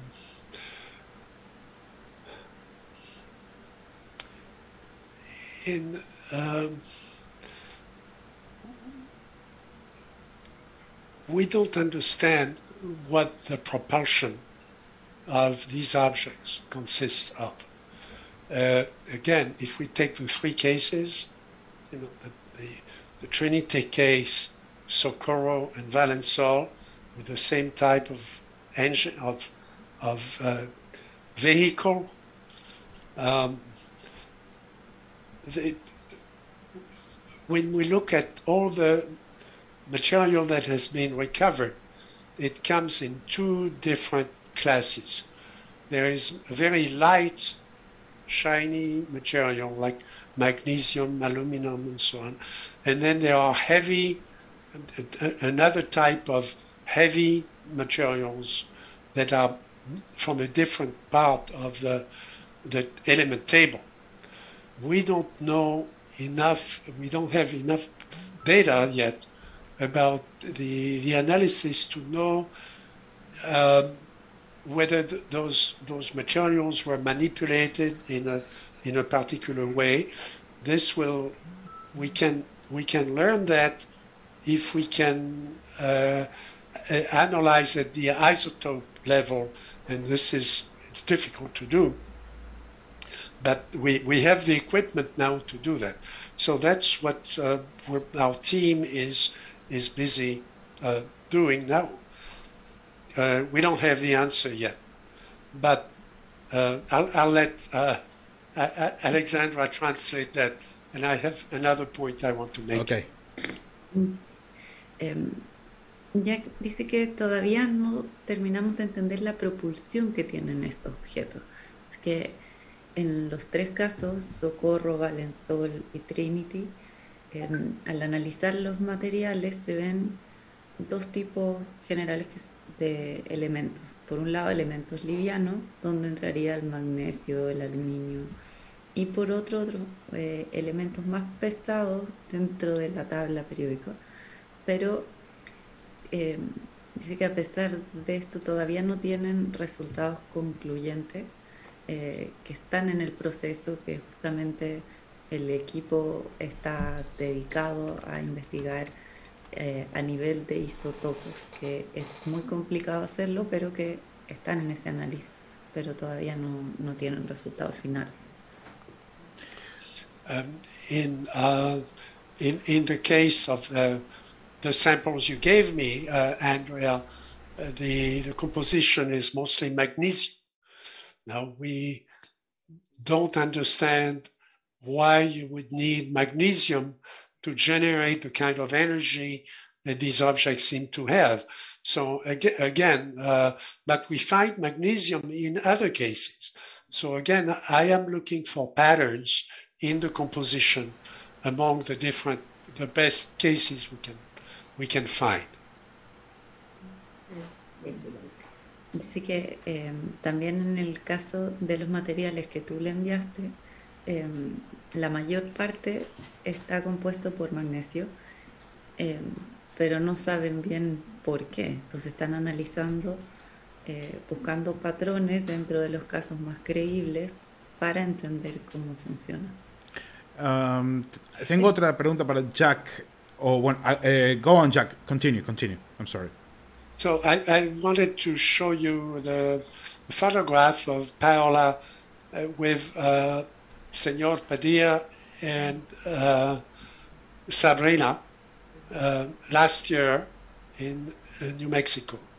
So you can you can see who our witnesses are. Yeah.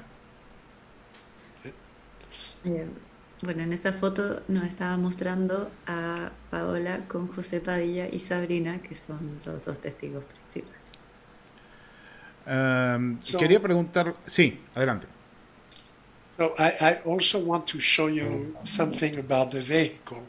So this is the avocado, mm -hmm. and we we we know from um, from the witness what it was like inside. So the um, the the height was about was very high uh, inside. It was about four meters. Okay, and uh-huh. we know the floor was flat. Oh. Okay, so this is this is what oh. it looked like, and this oh. is the the panel that that blew up there was a, a, a panel that blew up, but everything else was intact. So that object landed under power. Okay, it didn't explode. If it Mhm. had been a balloon, it would have blown up. If it had been a- an airplane, the wings would have fallen off, and the engine would have fallen off. It it it was extremely strong and extremely heavy. I'll, I'll let uh, I'll let you Alexandra. translate translate that. Um, eh, bueno, en el dibujo que nos estaba mostrando eh, estaba el dibujo de la palta que hicieron los niños, más o menos, y nos muestra, según eh, los recuentos que hicieron los niños de haber estado ahí adentro, o sea, de José Padilla, que este objeto habría tenido más o menos 4 metros de altura, un piso liso, sea, de, em, nivelado en el fondo, y con un panel que se habría roto eh, cuando la nave se estrelló, pero fuera de eso no explotó, no tuvo mayores problemas, como si habría pasado de haber sido un avión donde se le habrían caído las alas, habría tenido otros problemas, y lo mismo con un globo meteorológico que habría explotado. Uh, people make hypotheses, you know, these, and and they uh, they give you know alternate explanations. But Paola and I have spent a lot of time with Yeah. the witnesses, going back again and again and again over the story.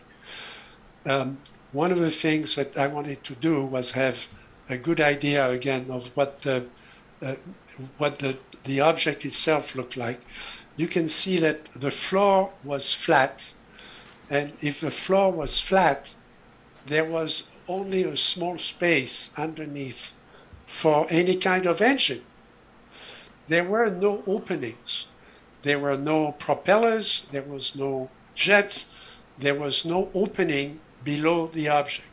They knew that because on the last day, the, the object had been turned on its side on the truck. So they could see the un- they could see the underside of the object. They could see that there was no opening there. Okay? If there was no opening, the propulsion system was in a very small space. It was maybe, you know, 30 centimeters by maybe one, one meter, maybe a meter and a half. That's all the space you had. For this is less space than I have in my car I for see. an engine. Yeah, Okay? absolutely. This is a very sophisticated type of propulsion I see. because again, the object didn't crash. It hit the tower, it destroyed the tower, and then it it it plowed, it it touched the ground and it followed the ground. It made a turn, and then it stopped over an area that was uh, almost three quarters of a kilometer. Okay, so it was still under power and we don't have any explanation for any kind of propulsion that can do that. Ok. Em, bueno, dice que el dato de que el piso estuviera nivelado es muy importante porque habla del espacio que quedaba entre el piso de la nave y, o sea, y el final de la nave, Sí. por lo que el espacio para el sistema de motor de propulsión era muy pequeño. Dice que este espacio debe haber sido alrededor de 30 centímetros por un metro y medio, que es incluso más pequeño que el espacio que usa el motor de un auto, eh, lo que habla de un sistema de propulsión que tiene que ser muy avanzado, eh, que además esta nave eh, chocó con la torre de comunicaciones, después siguió, eh, hizo un giro y se detuvo, lo que seguía teniendo control después de todo lo que pasó. Entonces el sistema ha sido muy, muy sofisticado y no, no hay nada creado por los seres humanos hasta hoy en día que tenga un sistema de propulsión con ese nivel de sofisticación. Correcto. Jack, ahora entiendo por qué, y Paola, por qué están eh, tan emocionados, porque el análisis que hacen de este objeto con todos los datos que están recogiendo, eh, lo demuestra como un eh, objeto extraordinario, diferente, no humano. Jack, tengo una pregunta. Dijiste recién que el metamaterial de este caso ha sido publicado en una revista científica. ¿En qué revista científica fue publicado este material, Jack? Um, you said before that the the material from this case was published in a magazine recently. No, he's talking So- about other Yeah, materials. yeah, This- yeah. the yeah, I know. I, I know he's talking about another material. I, I just wanted to know which uh, that's which magazine. That's what, uh, which magazine? Other Yeah. materials, not Yeah, the, the other material, not not this these Okay. cases. No, no, no, not these cases. I just wanted to know the other case uh, material uh, uh, and and uh, where can we find the the the the, the, paper? Uh, where where can we find the the paper uh, in the other magazine? Um, I, I will, in in one of my books, I gave a table of all the cases Yes. that I knew, and cases where I had materials Mhm. already that had been chemically analyzed for the chemistry, not the isotopes, just the chemistry. And um, as I said, it, it fell into those two classes. There were many similarities among the cases, but we could not do more. We could not go beyond that the chemical analysis. Now we can. So now we are at the beginning of a re-examination of of the most important cases where we have materials. Um, now, beyond that, people have the idea of metamaterials is an assumption. There is no proof of that. It's it it's a, hy- a hypothesis that you would need complex metamaterials if you were going to travel in space. Yeah. I'm not sure that will be verified. Mm-hmm. May, maybe it will, maybe it will not. The most advanced car on the road today is a, a Toyota car mm-hmm. that runs on hydrogen. Yeah. Hydrogen is the simplest material. It's not a material, it's a Yeah, gas. it's a it's the simplest element you can find. And the exhaust is pure water Yeah.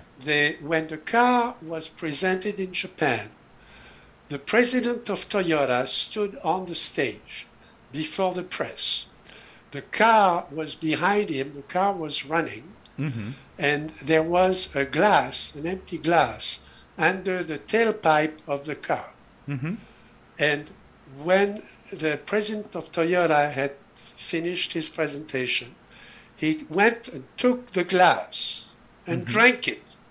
Okay? Okay. The exhaust from the car.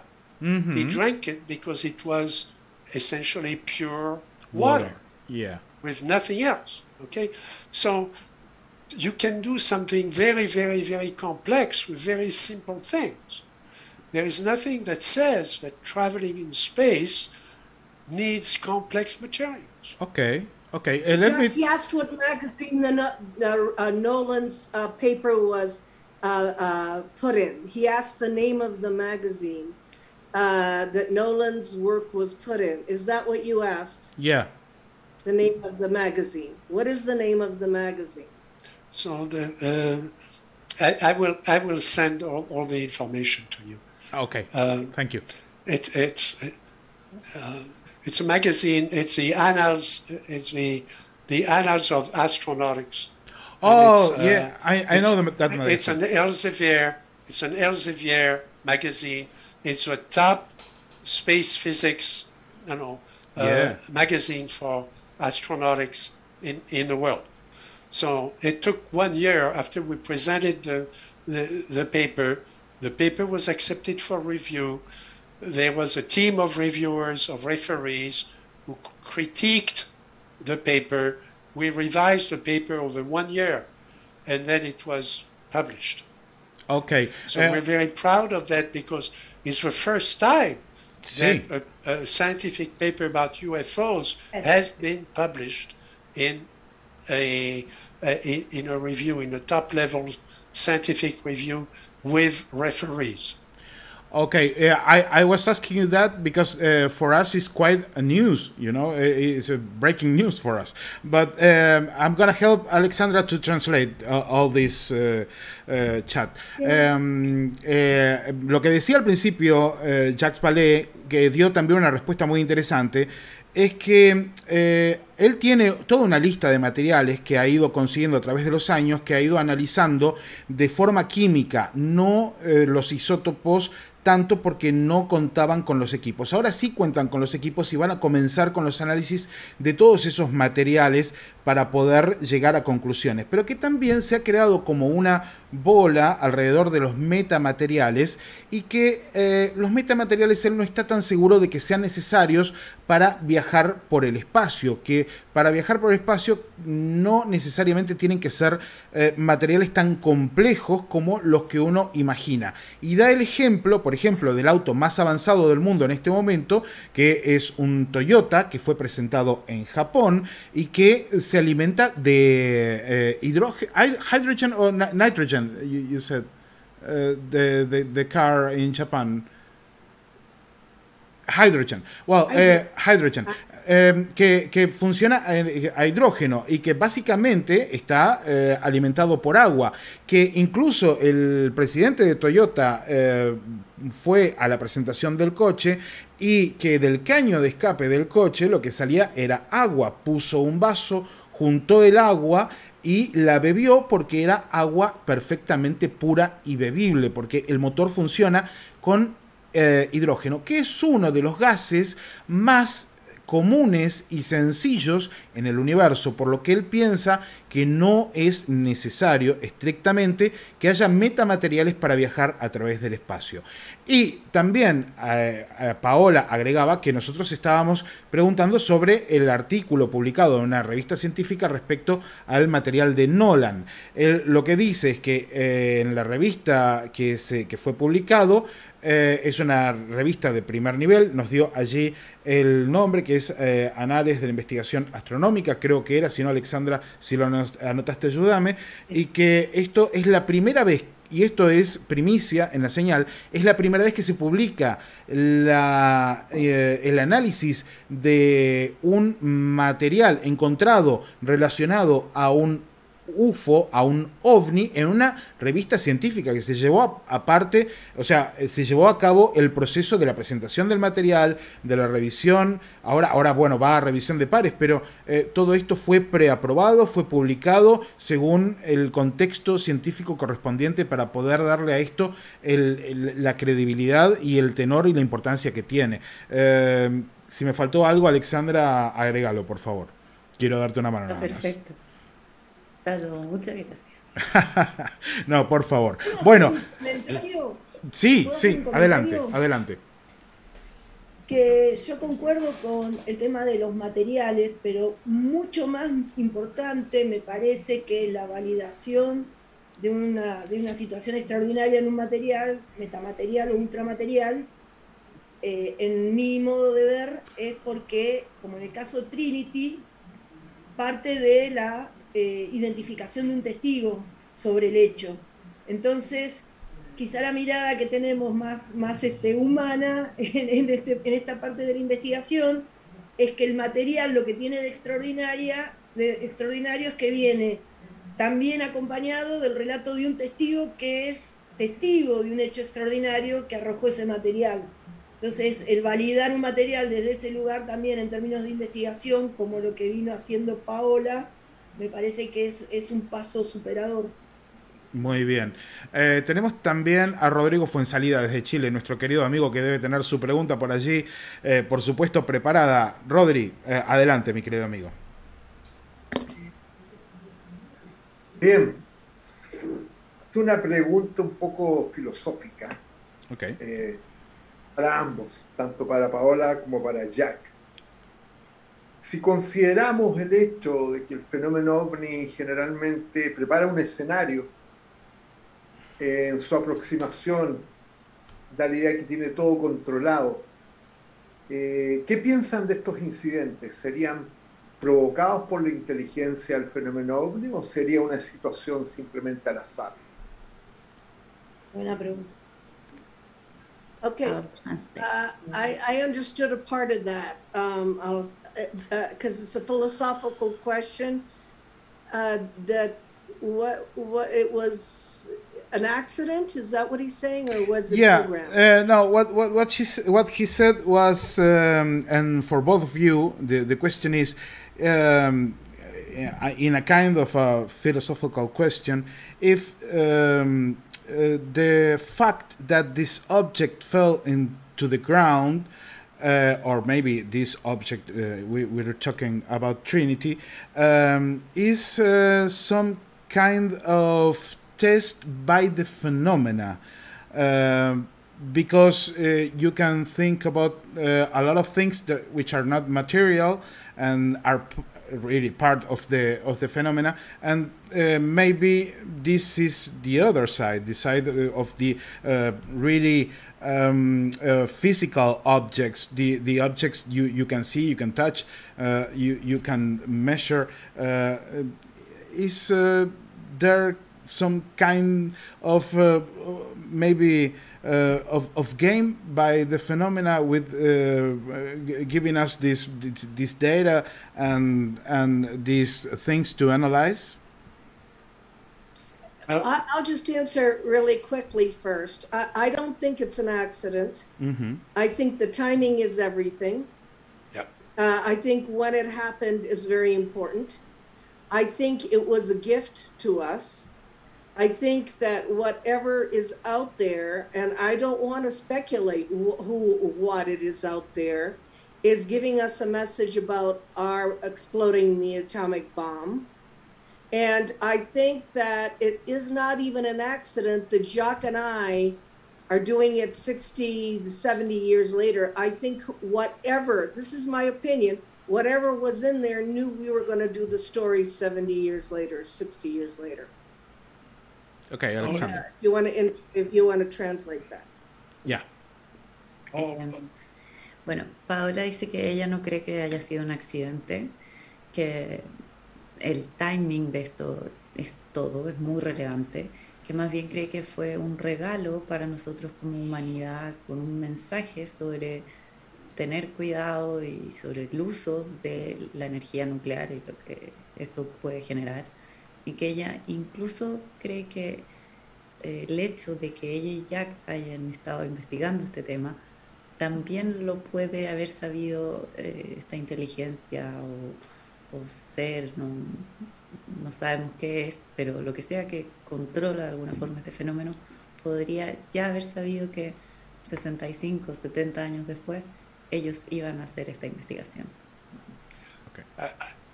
I think you're, you're asking the fundamental question here. You know, are, should we investigate these cases as real, actual cases, or are they part of a spectacle? Of yeah, yeah, absolutely. That's the point.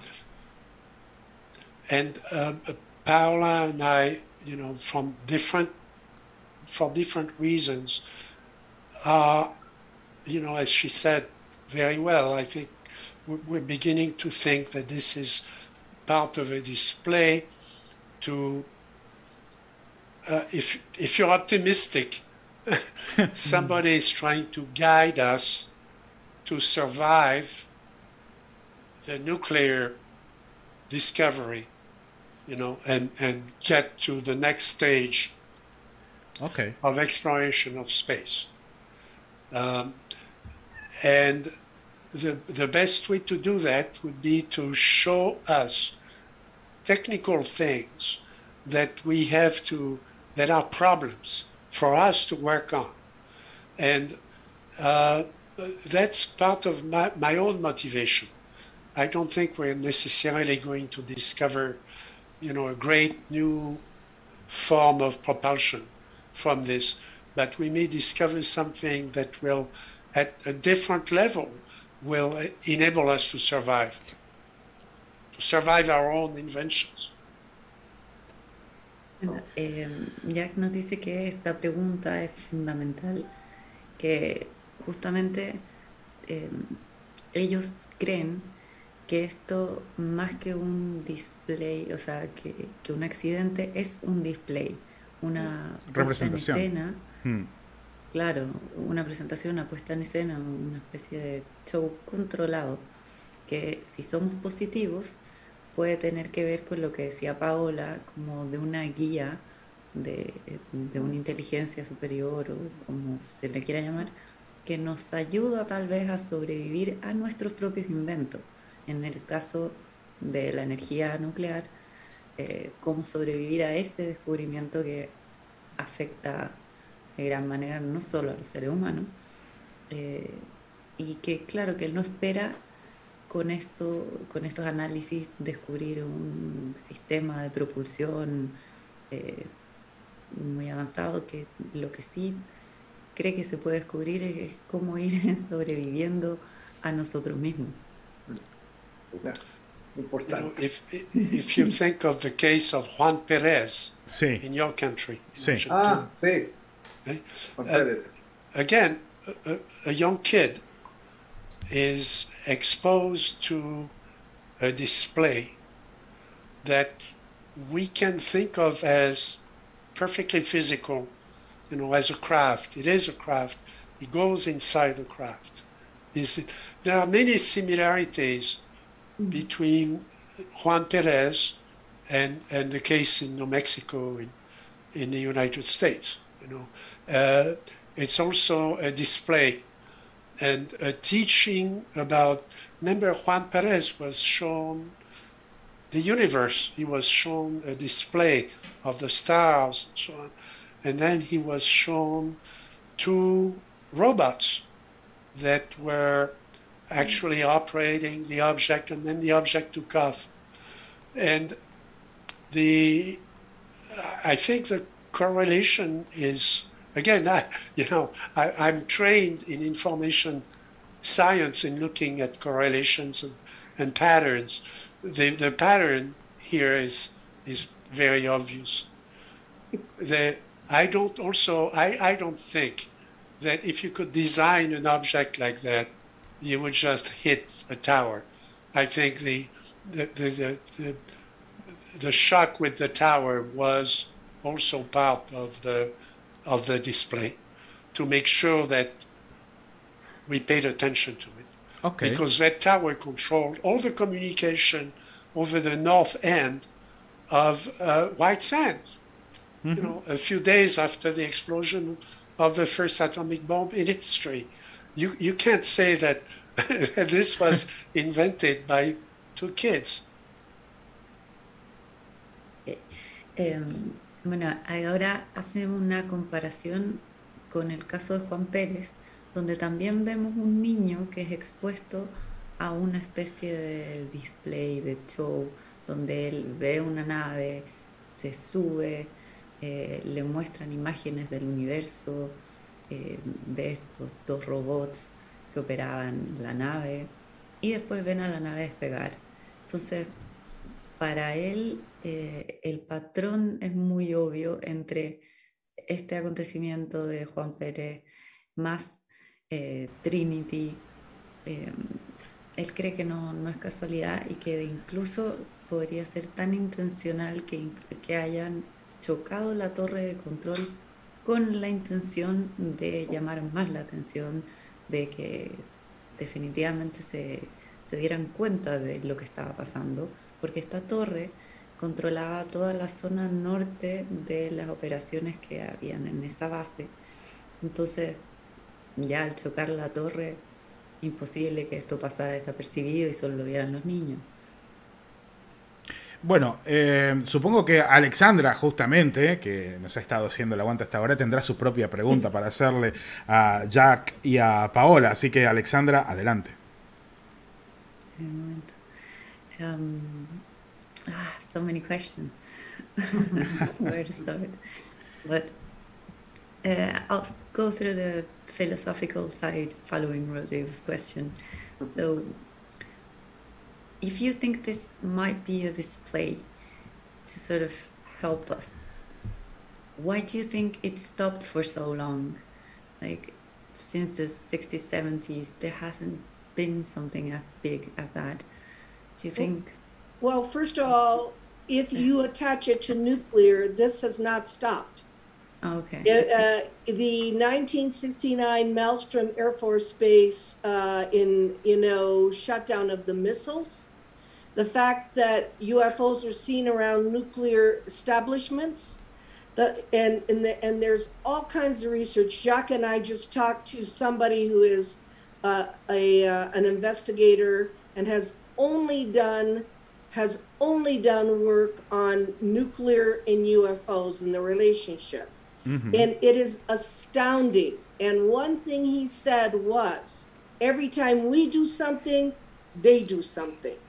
And I will never forget those words. If we do something, they do something. So that's my answer. If you want to translate it, and then you can ask. Yeah, of course. Yeah. Um, bueno, les estaba preguntando um, si ellos creían que había eh, esta relación entre las armas nucleares y como esta especie de guía que nos darían, eh, ¿por qué habrían parado después de estar tan presentes en los 60, 70? Eh, y Paola me dice que no han parado, que si se toma por el lado de la energía nuclear, hay muchas investigaciones que están ligadas justamente a aquellos paramisiles que, que están siempre alrededor de las fases de energía nuclear. Eh, y dice que eh, Ay, perdón, se me fue lo último.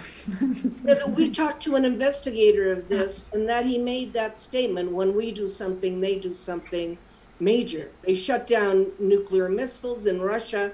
There's been situations uh, where they activated the codes. So there is a, a lot of a lot of research on the relationship between UFOs and nuclear. Eh, dice que eh, hablando con un investigador de la correlación entre el tema nuclear y los avistamientos, eh, él decía que cada vez que nosotros como humanidad hacemos algo, ellos hacen algo.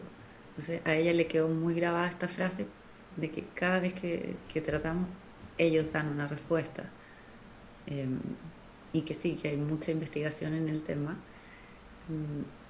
Les voy a preguntar también eh, un agregado a la pregunta sobre, más allá de la parte nuclear, si hay otras tecnologías que tal vez también estén siendo rodeadas o, investigadas por estos. So I wanted to sort of complement that question with um, other than the nuclear energy. Do you think there's other technologies that they might be worried about or they're surveilling somehow, or it's mostly just uh, nuclear and atomic energy? Oh, I don't know, so Jacques can answer that. there, there are uh, obviously other technologies that are a, a danger. Uh, artificial intelligence, for example, which is a field that I've you know studied, that I, am following, uh, could uh, make humans unnecessary. Mm-hmm. It could even be e- evolving into, you know, a, a, another form of existence where we don't have a place. Okay. Um, I don't believe that about artificial intelligence, but uh, that's another example of a technology that could threaten us and force us to change our behavior on, on this planet. Okay. The I, I keep thinking of Juan Perez because in, in that movie, you know, Testigo de Otro Mundo, sí. if you remember, he was, but you know, uh, Jose Padilla also was a witness, was a testigo, mm-hmm. you know, of something. Sí. Uh, something was presented to the the two kids at a place that was the most sensitive point on the earth at that point, okay, uh, which was uh, obviously the place, you know, uh, where the, the atom bomb had exploded. Ujú. And um, in in the case of, you know, I spent time with Juan Perez, alone with him. Um, I uh, relearned enough Spanish because uh, I, I wanted to be able to have a conversation with him without an interpreter. Ujú. And uh, to a great extent, I was able to to do that, uh, you know, face to face with him. Uh, I, I wanted to find out what his feelings were when he was in the presence of these robots, and what what had happened after that. And what had happened after that was that there was a presence around him that remained, that was very much part of his existence. He was afraid of it. Um, to some extent, to a large extent, the fact that we paid attention to this and we made the movie and we reunited him with his, um, you know, with his tribe essentially and, and his um, origins uh, helped in, in healing that feeling. But, you know, the, being part of that experience, and it's the same thing with Jose, is not without profound consequences on the on the witness himself or herself.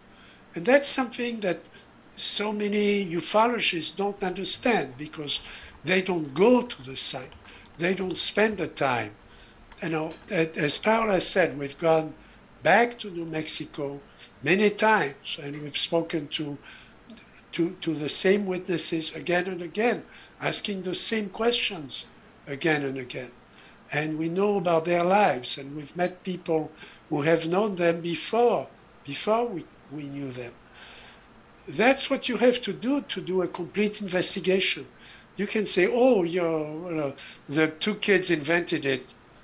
Uh, or you can't say, well, you know, it was, it was a hoax by the Russians. You know, what Russians?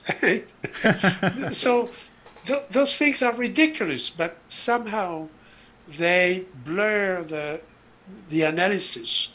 So we have to be very formal, you know, very strict, very uh, very attentive to all the details when we do that kind of. And that's a, a lesson that I keep learning, and I, I learned you know, a great deal with Paula, of course. Ok. Paula is a good teacher. Eh, Alexandra, déjame saber si puedo ayudar con la respuesta. Eh, te voy contando o Ok. complementa si me falta algo. Dale. Dale. Eh, bueno, él dice que eh, hay otras tecnologías que son potencialmente peligrosas, como la inteligencia artificial. Porque yo le pregunté si fuera de la energía nuclear, Había habían otras. otras tecnologías que, claro, que pudieran llamar la atención de estos seres, de esta inteligencia, eh, justamente como porque fuera un peligro para nosotros.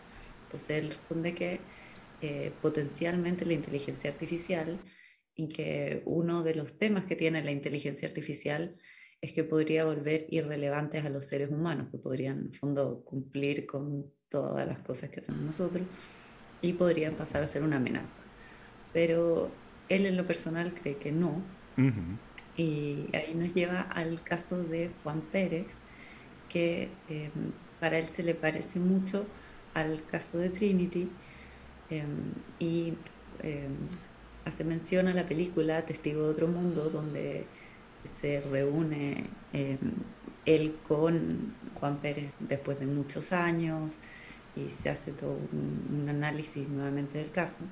Dice que él precisamente quería conversar con el testigo en español, poder tener una conversación directa sin un intérprete para poder llegar a lo que sintió el testigo. Entonces que él logró tener estas conversaciones con Juan Pérez y, y preguntarle qué era lo que él había sentido después de su encuentro, de haber subido a esta nave y todo. Y, y que dice que de las cosas que le quedaron pasando Juan Pérez que se mantenía una presencia en su vida. Él sentía que había como alguien observándolo siempre. Entonces, eh, era muy complicado para él y a la vez dice que, eh, bueno, este mismo encuentro, este caso, todo lo que le pasó a Juan Pérez, llevó que a la larga se generó esta película donde lograron reunirlo con parte de su familia, de su tribu, y, que tanto en este caso como en el de Trinity, los niños experimentaron eh, consecuencias profundas y a largo plazo en sus vidas. Entonces que el testigo y lo que le pasa es muy importante dentro del caso, que por eso él y Paola han ido varias veces, o fueron varias veces a la investigación de campo, a hablar con los testigos, les hacían las mismas preguntas una y otra vez. Y, y esto va ayudando a tener una investigación real, donde, claro, él dice que la gente que no va a terreno, de repente puede pensar que no, que esto es un montaje de los rusos, pero que, qué rusos, que cuando ya están ahí y ven y hablan con la gente del pueblo y el primo y saben cuál es el día a día y todo, ya se puede conocer realmente el caso. Muy bien. Em, la próxima pregunta se la voy a hacer yo a Jack, eh, porque es una pregunta que me parece que, coincide con esto. Em, y es lo siguiente, a, través de los años investigando, en realidad eh, siendo parte de todo este mundo, eh, muchas ideas van y vienen respecto a la procedencia de este fenómeno. Y eh, la verdad es que me queda en claro que quizás hay como dos partes, ¿no? Una más que llega quizás de un punto fuera de la Tierra, extraterrestre, y otra que es más cercana, que es más, incluso está relacionada con nosotros. Entonces la pregunta es si eh, algunos casos como este, eh, o el de Juan Pérez, podrían estar conectados con una inteligencia, una inteligencia planetaria, una inteligencia que, tenga que ver con nosotros en esencia y que, como él decía, nos esté dando un aviso, un warning, ¿no? Así que le voy a preguntar esto. Jack, uh, my question is uh, about um, uh, a lot of things happening at, at, the same time. You know how how it works. Uh, sometimes it's difficult to see a tree in a forest, and sometimes you, you can almost find all the answers in just one thing.